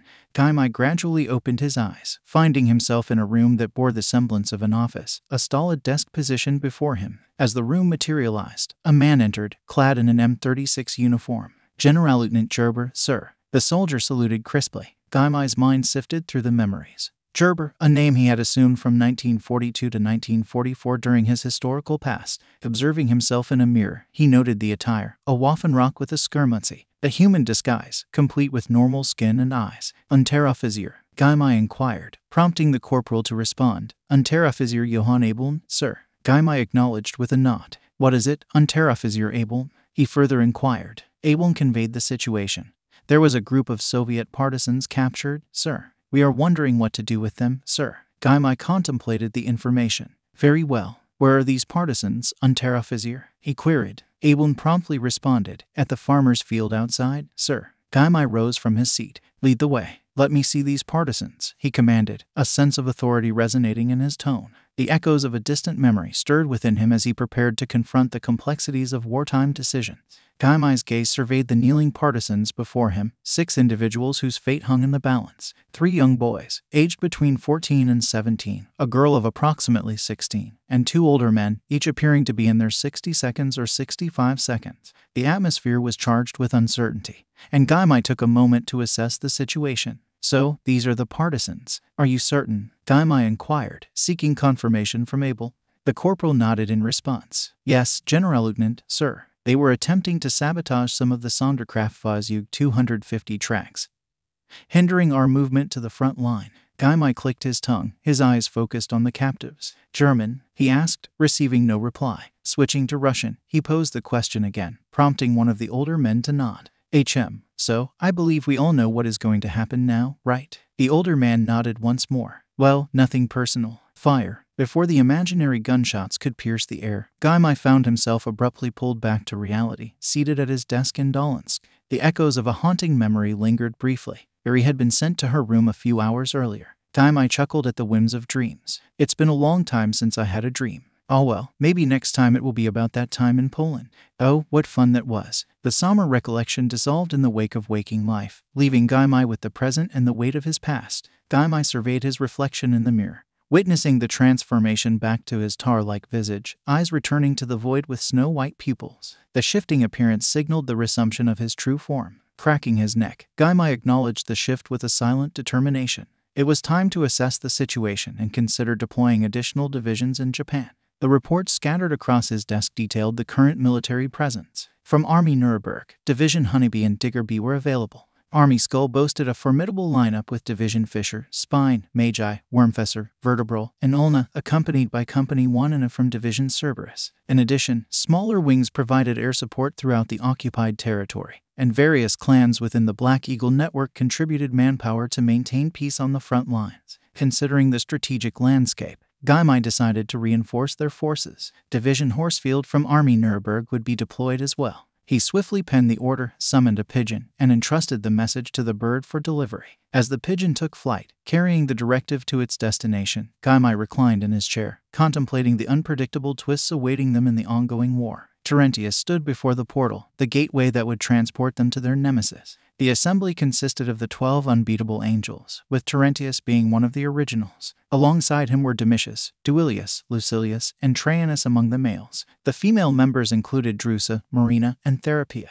Petronia and Herminia had fallen victim to it, their replacements being Calpurnia and Ursus. The new recruits, Caius and Honorius, completed the group. Each face bore a solemn expression. The murderer of Petronia and Herminia awaited on the other side of the portal, a foe they were determined to confront. Though the one responsible for Epavitara's demise resided elsewhere, this marked a crucial beginning. Therapia, now the leader, took a deep breath and addressed the group. I understand the gravity of the situation, but we are not undertaking this journey for ourselves. The planet Earth is in dire need of intervention. It is there, and we must halt whatever malevolent plans it has. Now, onwards, she declared, rallying the team for the mission that held the promise of retribution. Back on Earth, Gaimai enjoyed the calmness of his office until an unexpected portal disrupted the tranquility. With a raised eyebrow and a sigh, he muttered, Oh, what is it now? What emerged from the portal, however, was beyond his expectations. Figures from Ashad Gra. Therapia, visibly perturbed, entered the room, and as she did, a growl of disdain escaped her lips. You, she uttered, fixing her gaze on Gaimai.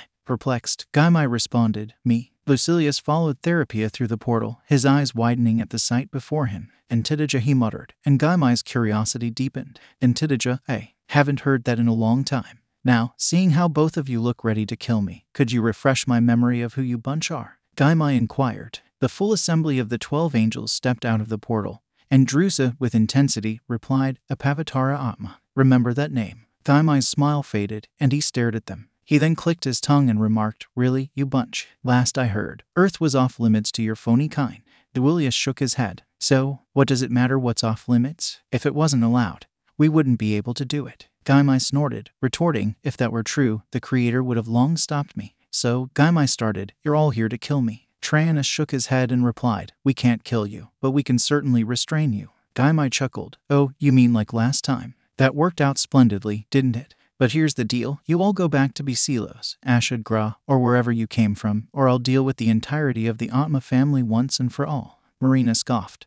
We're not afraid of you, Intidija. You may have changed your name, but you're still the same entity we sealed away. Gaimai grimaced. Intidija is a name I left behind a long time ago. I've moved on from the Dare family. It's Gaimai now. But if you're so eager to challenge me, then let's settle this once and for all. With tension thick in the air, the angels summoned their weapons, ready for the confrontation that was about to unfold. Gaimai gave a dry chuckle. Wrong move. As he spoke, the walls of the room began to morph, transforming into black slime, and the floor followed suit. From the oozing substance, demonic creatures slowly materialized, their grotesque forms emerging into the room. In Gaimai's hands, a Mayadao materialized, gleaming ominously. Looks like I'll be calling in some old relatives of mine. Ursa spoke up nervously. Um, Therapia, you mentioned that all the members of the Demona clan besides Intidija were dead, right? Therapia nodded, her expression grim. Yes, but there was one other, the one who killed Epavatara. Then, both Gaimai and Therapia uttered in unison, Jugia. A second demon emerged, resembling Gaimai but with two black horns adorning his head.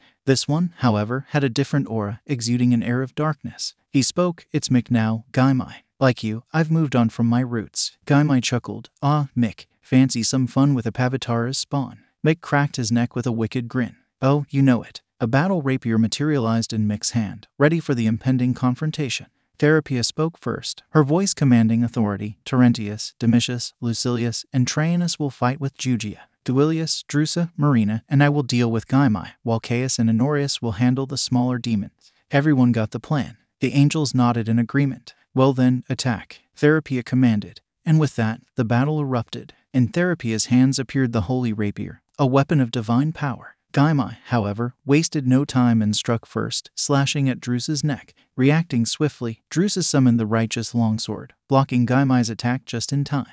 The battle unfolded in a chaotic symphony of clashes and shouts. Terentius, Domitius, Lucilius, and Traianus engaged Jugia, their weapons gleaming with celestial light. Terentius wielded the heaven's halberd, its blade infused with the power of the cosmos, while Domitius brandished the divine bow, raining down arrows of holy fire upon their foe. Lucilius summoned the thunder hammer, crackling with divine energy, while Traianus unleashed the sacred spear, its tip shimmering with divine radiance. Meanwhile, Duilius, Drusa, Marina, and Therapia faced off against Gaimai, their weapons ready to defend against his onslaught. Duilius wielded the shield of the ancients, its surface reflecting the power of the heavens, while Drusa gripped the righteous longsword, its blade cutting through the darkness with divine precision. Marina conjured the frostbow, its arrows freezing the air around them, while Therapia brandished the holy rapier, its point radiating with divine righteousness. The battlefield echoed with the clash of steel and the roar of demons as the two sides clashed. Stay focused, Therapia shouted, parrying Gaimai's strikes with her rapier. We mustn't let him gain the upper hand. Gaimai laughed darkly, his eyes gleaming with malice. You angels always underestimate the power of darkness.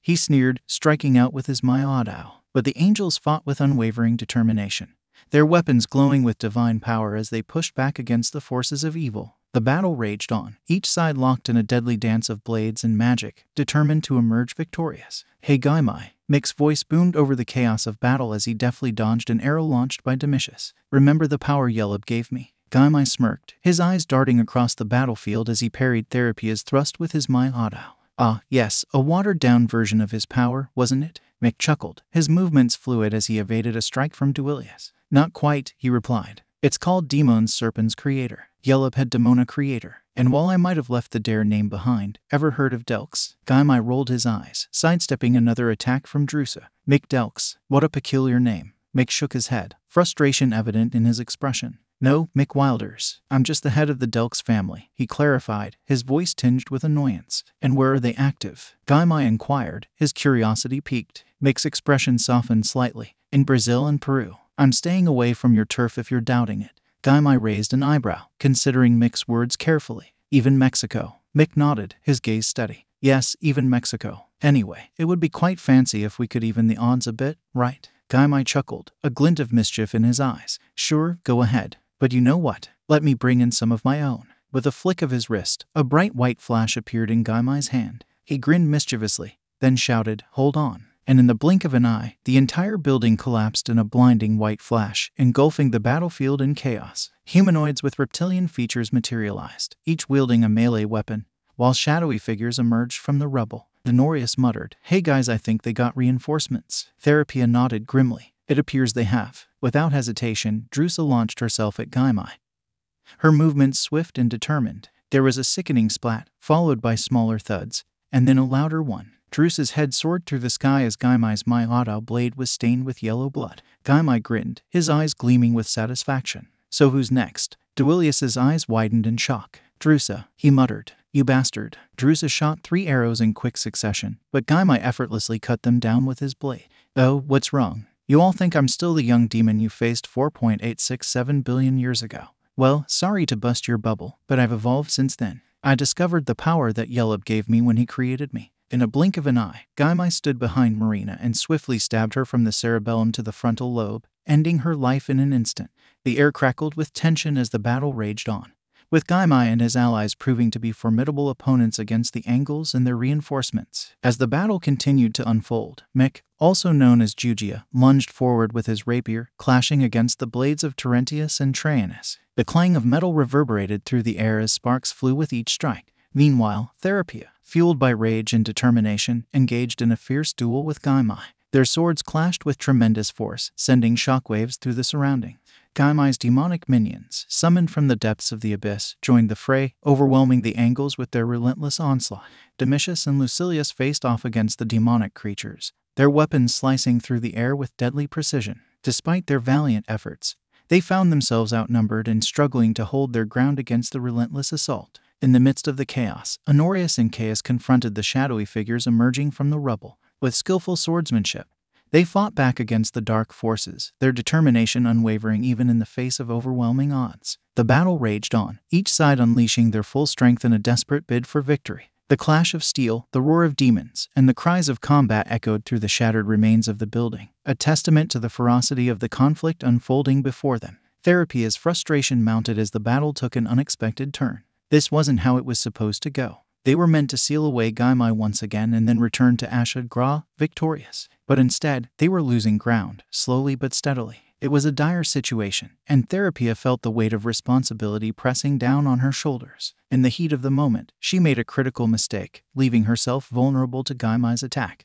With a swift and precise movement, Gaimai slashed her wrist, causing her to cry out in pain. Before she could react, his blade found its mark, piercing her gut with a sickening thud. Therapia gasped, her strength faltering as pain coursed through her body. Gaimai's twisted grin taunted her, mocking her defeat. Despite her best efforts, she had fallen into his trap, and now she paid the price. As darkness threatened to engulf her consciousness, Therapia clung to the flicker of hope that her comrades would prevail, even in her absence. With ruthless efficiency, Gaimai dispatched the fallen leader of the Twelve Unbeatable Angles, kicking her lifeless body aside without a second thought. As he turned to face Caius, the would-be attacker found himself swiftly impaled by a humanoid Komodo dragon wielding a deadly spetum. Caius's body convulsed in agony before falling silent, his life extinguished in an instant.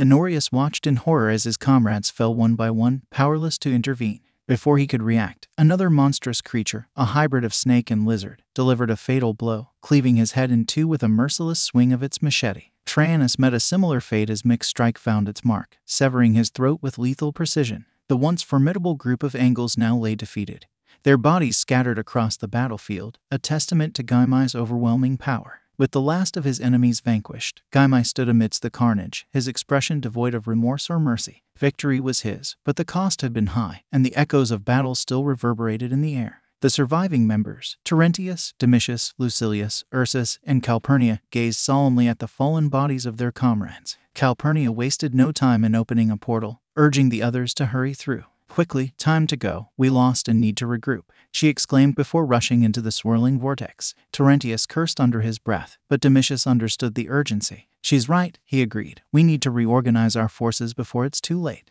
With a nod from Ursus, they followed Calpurnia into the portal, leaving behind the scene of defeat. Lucilius, however, hesitated, offering to hold off their enemies for as long as possible. Terentius insisted he go, forcefully pushing Lucilius through the portal before it sealed shut. Now alone, Terentius faced the overwhelming forces before him, his sword drawn in a last stand. But his defiance was short lived as a swift strike cleaved him in two, ending his life in an instant. Standing behind the fallen angel was another figure, with four white wings extending from his back, adorned in a white robe with yellow lines, and a halo hovering above his head. Gaimai's laughter echoed through the air as he recognized the celestial being. Hakdal, never thought I would see you again, he remarked with a smirk. Hakdal sighed, a sense of resignation in his voice. My grandfather would have wanted it if he was still alive. Well then, Antidija, I will see you another time. With a flap of his wings, Hakdal ascended into the sky, leaving Gaimai behind to contemplate their encounter. Inao Botan prided himself on his honesty. As a construction worker at Awashima Constructions, he took pride in his workmanship his family, his wife, Ikikawa Eiko, and their two children, Inao Benjiro and Chibai, were his pillars of support. While his parents resided outside the prefecture and much of his family remained distant, he found solace in his circle of friends. Yet, as he gazed into the eyes of the jaguar looming over the lifeless body of a coworker, His usual certainty wavered, uncertain of how to respond to the harrowing scene before him. The sound of boots echoed through the room as a figure emerged, clad in a gray uniform. A metallic skull mask glinted in the dim light, casting an eerie shadow over the scene. Atop his head sat a field gray Berndorfer helmet, lending an air of authority to his presence. In his hands, he held a Fusil Model 1935 rifle with practiced ease. Well, looks like you've encountered the reinforcements, he remarked, his voice muffled by the mask. Botan remained silent, his gaze still fixed on the departing Jaguar. That's the spirit, the figure quipped, commanding the Jaguar to vacate the premises. Leaning casually against the wall, he continued, So, this is a construction project. Botan nodded hesitantly, his voice barely above a whisper. Yes, it was meant to be an apartment complex named after Prince Higashikuni Naruhiko, he explained, his words trailing off. The figure nodded in understanding, his expression unreadable behind the mask. The name's Gunter Friberg. Oh, I mean Friberg Gunter, he corrected himself, acknowledging the Japanese naming convention. Botan responded with a hesitant nod, introducing himself as Anao Botan. Gunter let out a chuckle. And would you happen to know who we are? He inquired. Botan shook his head in confusion. No, he admitted. Gunter laughed softly. Well, I can't say I'm surprised. Have you ever questioned why there was a blackout a few months ago? Botan once again shook his head, prompting Gunter to continue. You see, Division Cerberus, though I doubt you're familiar with them, severed the communication lines from Kyushu to the mainland. As a result, they're in the dark about what's happening here. Not that they could do much even if they knew. They're too preoccupied with the Paranormal Liberation Front and all that. Botan's confusion deepened. Paranormal what? he asked, his brow furrowing in bewilderment. Gunter let out a weary sigh. Ah, I keep forgetting that Kyushu is out of the loop on that matter too, he muttered. There's a full blown civil war raging on the mainland between villains and the government. Anyway, you should probably head home and wait it out. There's a larger force en route here. Nodding and understanding, Botan wasted no time in fleeing the building. Gunter hummed a tune to himself as he followed suit, the Jaguar trailing behind obediently. Izuku surveyed the devastated city of Amida, the first casualty in Fukuoka Prefecture's invasion. Meanwhile, in Yoshitomi, Division Horsefield, along with Honeybee and Diggerbee from Army Nuremberg, were pressing into and securing the surrounding territory. Within Amida, Division Ulna, Vertebral, and Spine of Army Skull were consolidating their hold, while others were already making moves toward Miyama. With a distant, almost vacant expression, Izuku took in the scene before him. Amida wasn't the first city to fall, nor would it be the last.